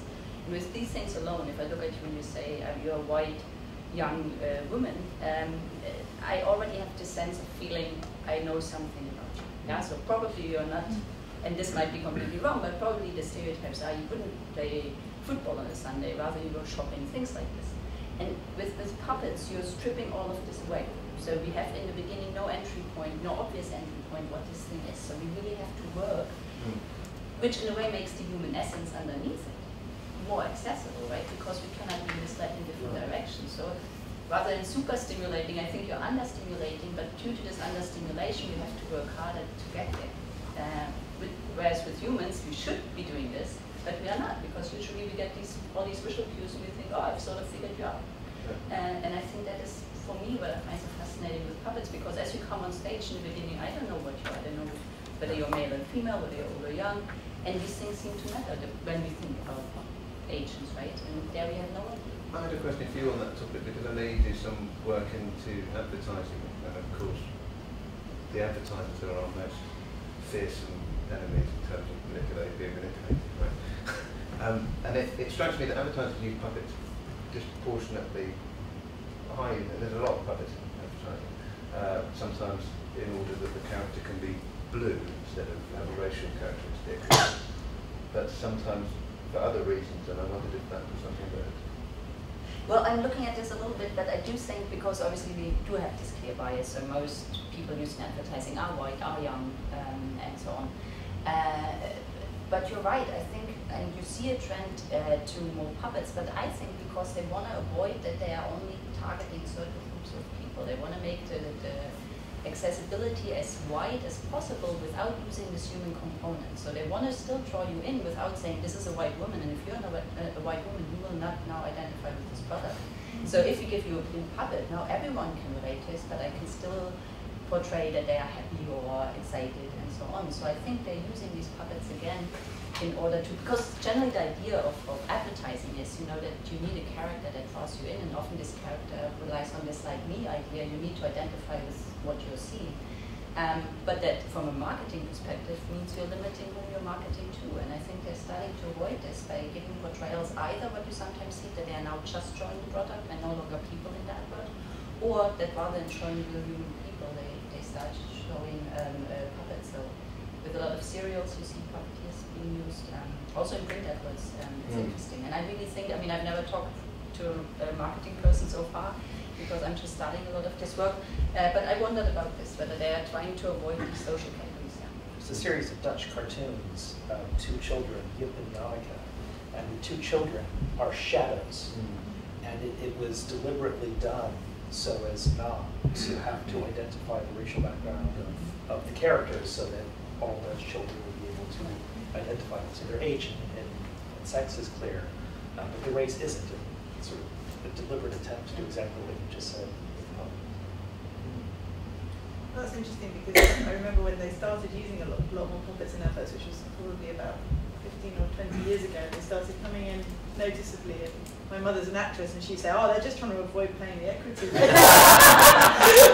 I should go back and tell them what really. maybe, maybe we're being too naive. it's so expensive to employ an actor for an advert, but it's cheap to employ a puppet. Um, does that that contract that we're um, that that that that, uh, that keeps on being brought up? How does that contract work? How does it happen? And when does it happen? I mean, clearly it can happen in an advert, so on TV as well as in a theatre and a live environment like this. So, so how does it? Yeah, how does it evolve? When when do we make it?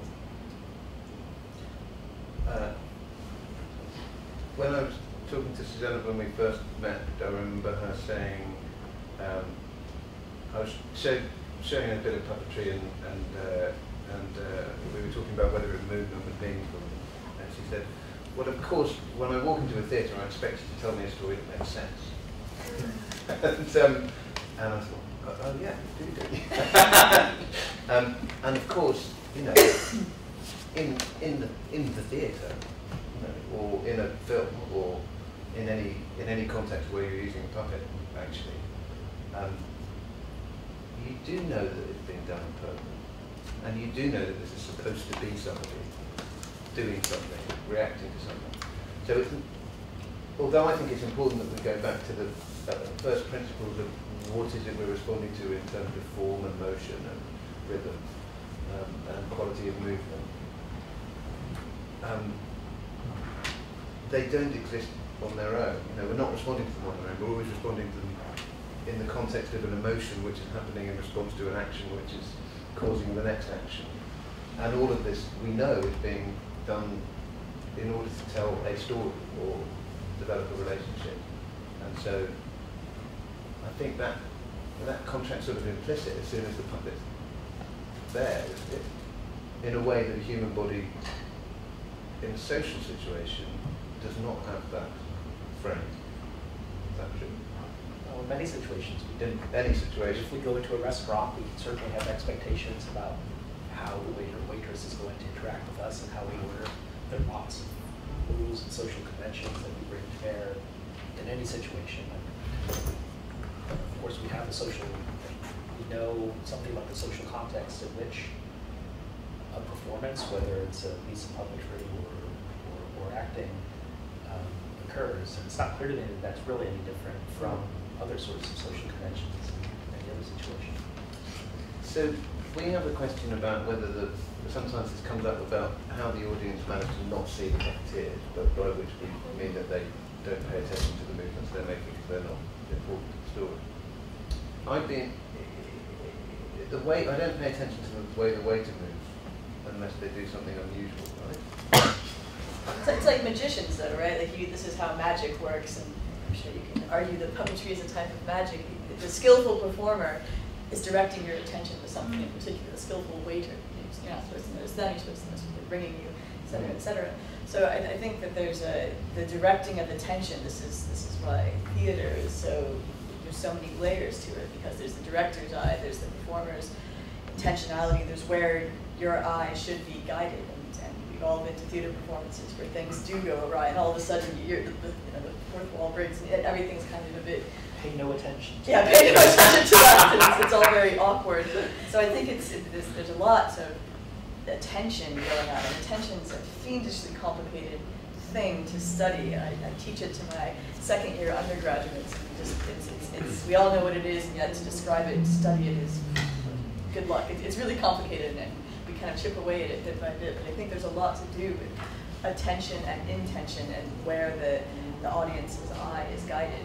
And I just want to make a really small, but I think important distinction between live and filmed performance. And this is, I know not the point of this, but I think they're mm. really different things. And when you think about a commercial on TV, a feature film that you might see in the cinema, what's going on there? Oftentimes the director, the, the editor is going to decide where your eye is going to be, and there's not the whole scene. But in a rich theater, live performance, you can look at you know the person playing a Roman guard in the corner, you can look at the main actor, the actress, all the different things that are on the theater, and this is uh, on the stage could possibly be taking your attention. And I think the really, yeah, what's happening is really quite different in, in terms of what has to be done to engage an audience to follow the story in the way that the performers and the director want it to actually happen. And uh, I think another thing, if I understood your question correctly, I think a big thing to why we like puppeteering, puppeteering, puppeteering, is that a thing? Puppetry? sometimes making up words now. Um, uh, I think it has a big humor dimension. No, we haven't talked about this at all. But of course, the moment you know the the, the, the, upper body is trying to catch his lower body, uh, that is funny. Or like the, the two sticks fighting. Or right now, I don't know whether anyone's watching the Great British Bake Off, where they have now these little. Uh, uh, cakes beforehand that are talking. The first time I saw that, I thought that was hilarious. I mean, often about these things, they, they, they, they can be fascinating because they are funny, and of course because you start to think, what would it be like if all things had a mind, right? And if all things had intentions and would come to life? I think that is an interesting question that has been explored for many ways, and I think you're sort of also with this form of art tapping into this more broader question is that part of what you think makes you laugh? Is a sort of oddity or the or, or even the surrealism of, yeah, of, of I, these yeah. things coming to life? I, I think so. I mean, I, I, this is a completely personal opinion. This has nothing to do with my science, but I do think that uh, that humor and and um, taking a step back from the world and realizing that you know a, a human showing exactly the same behavior wouldn't be funny, but because it's a chair or a piece of cake, it's suddenly hilarious. And I think that this is an aspect of it. But I, maybe Mervyn says no, nothing is funny when we do puppetry. No, but I'm very serious. but not, not, often enough.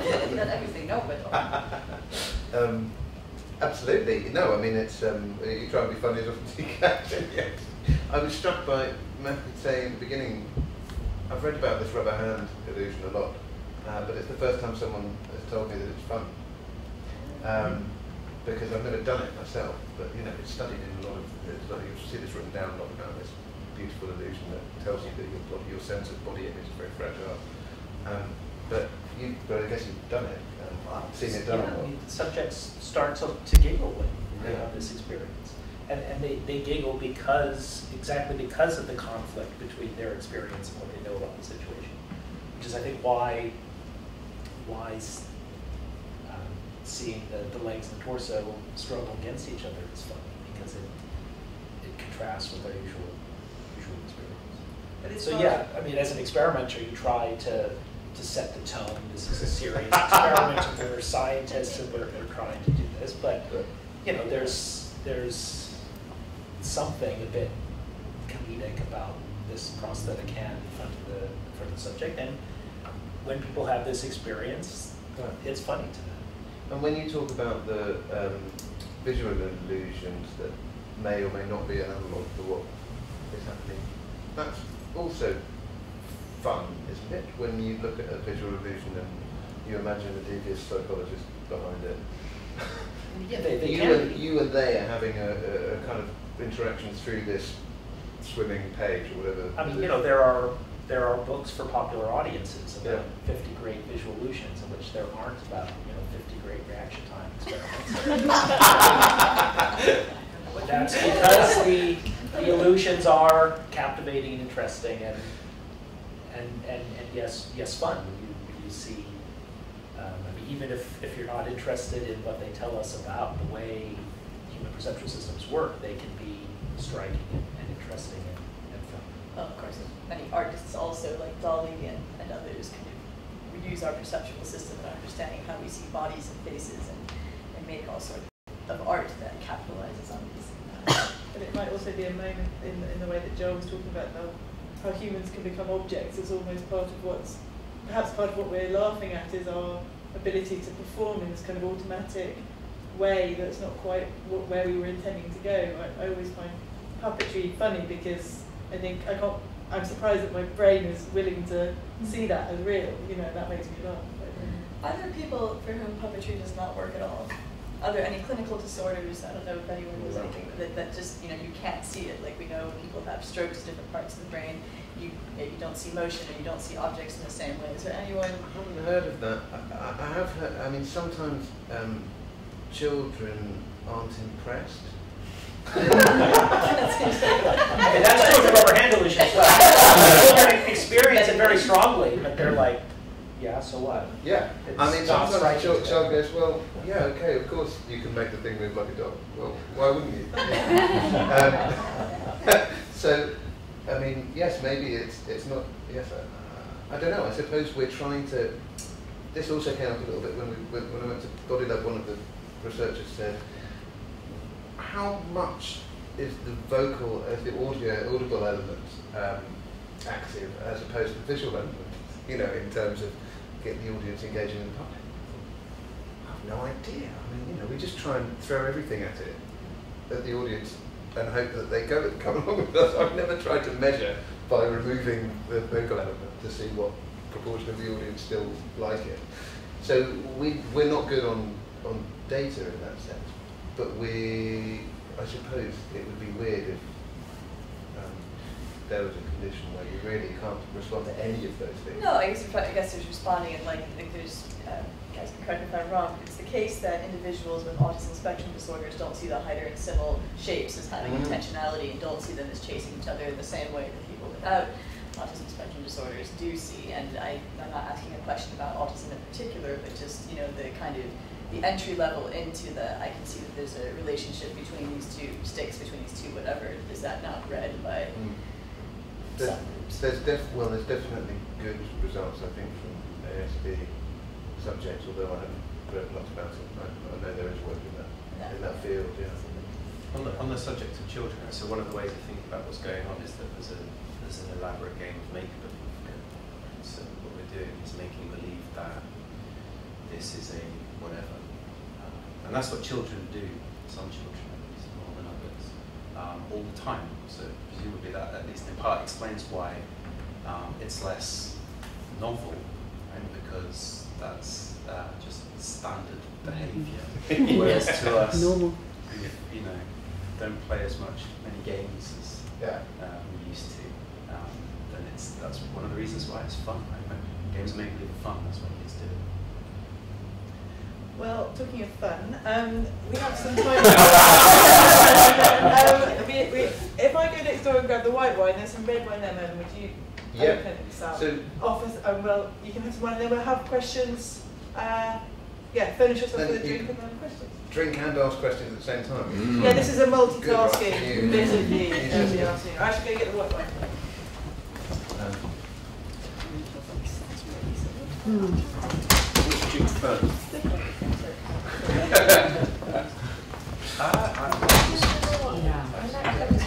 wearing this t-shirt today. But he wasn't present. No, no, I don't. I don't know. Right. No, no, no.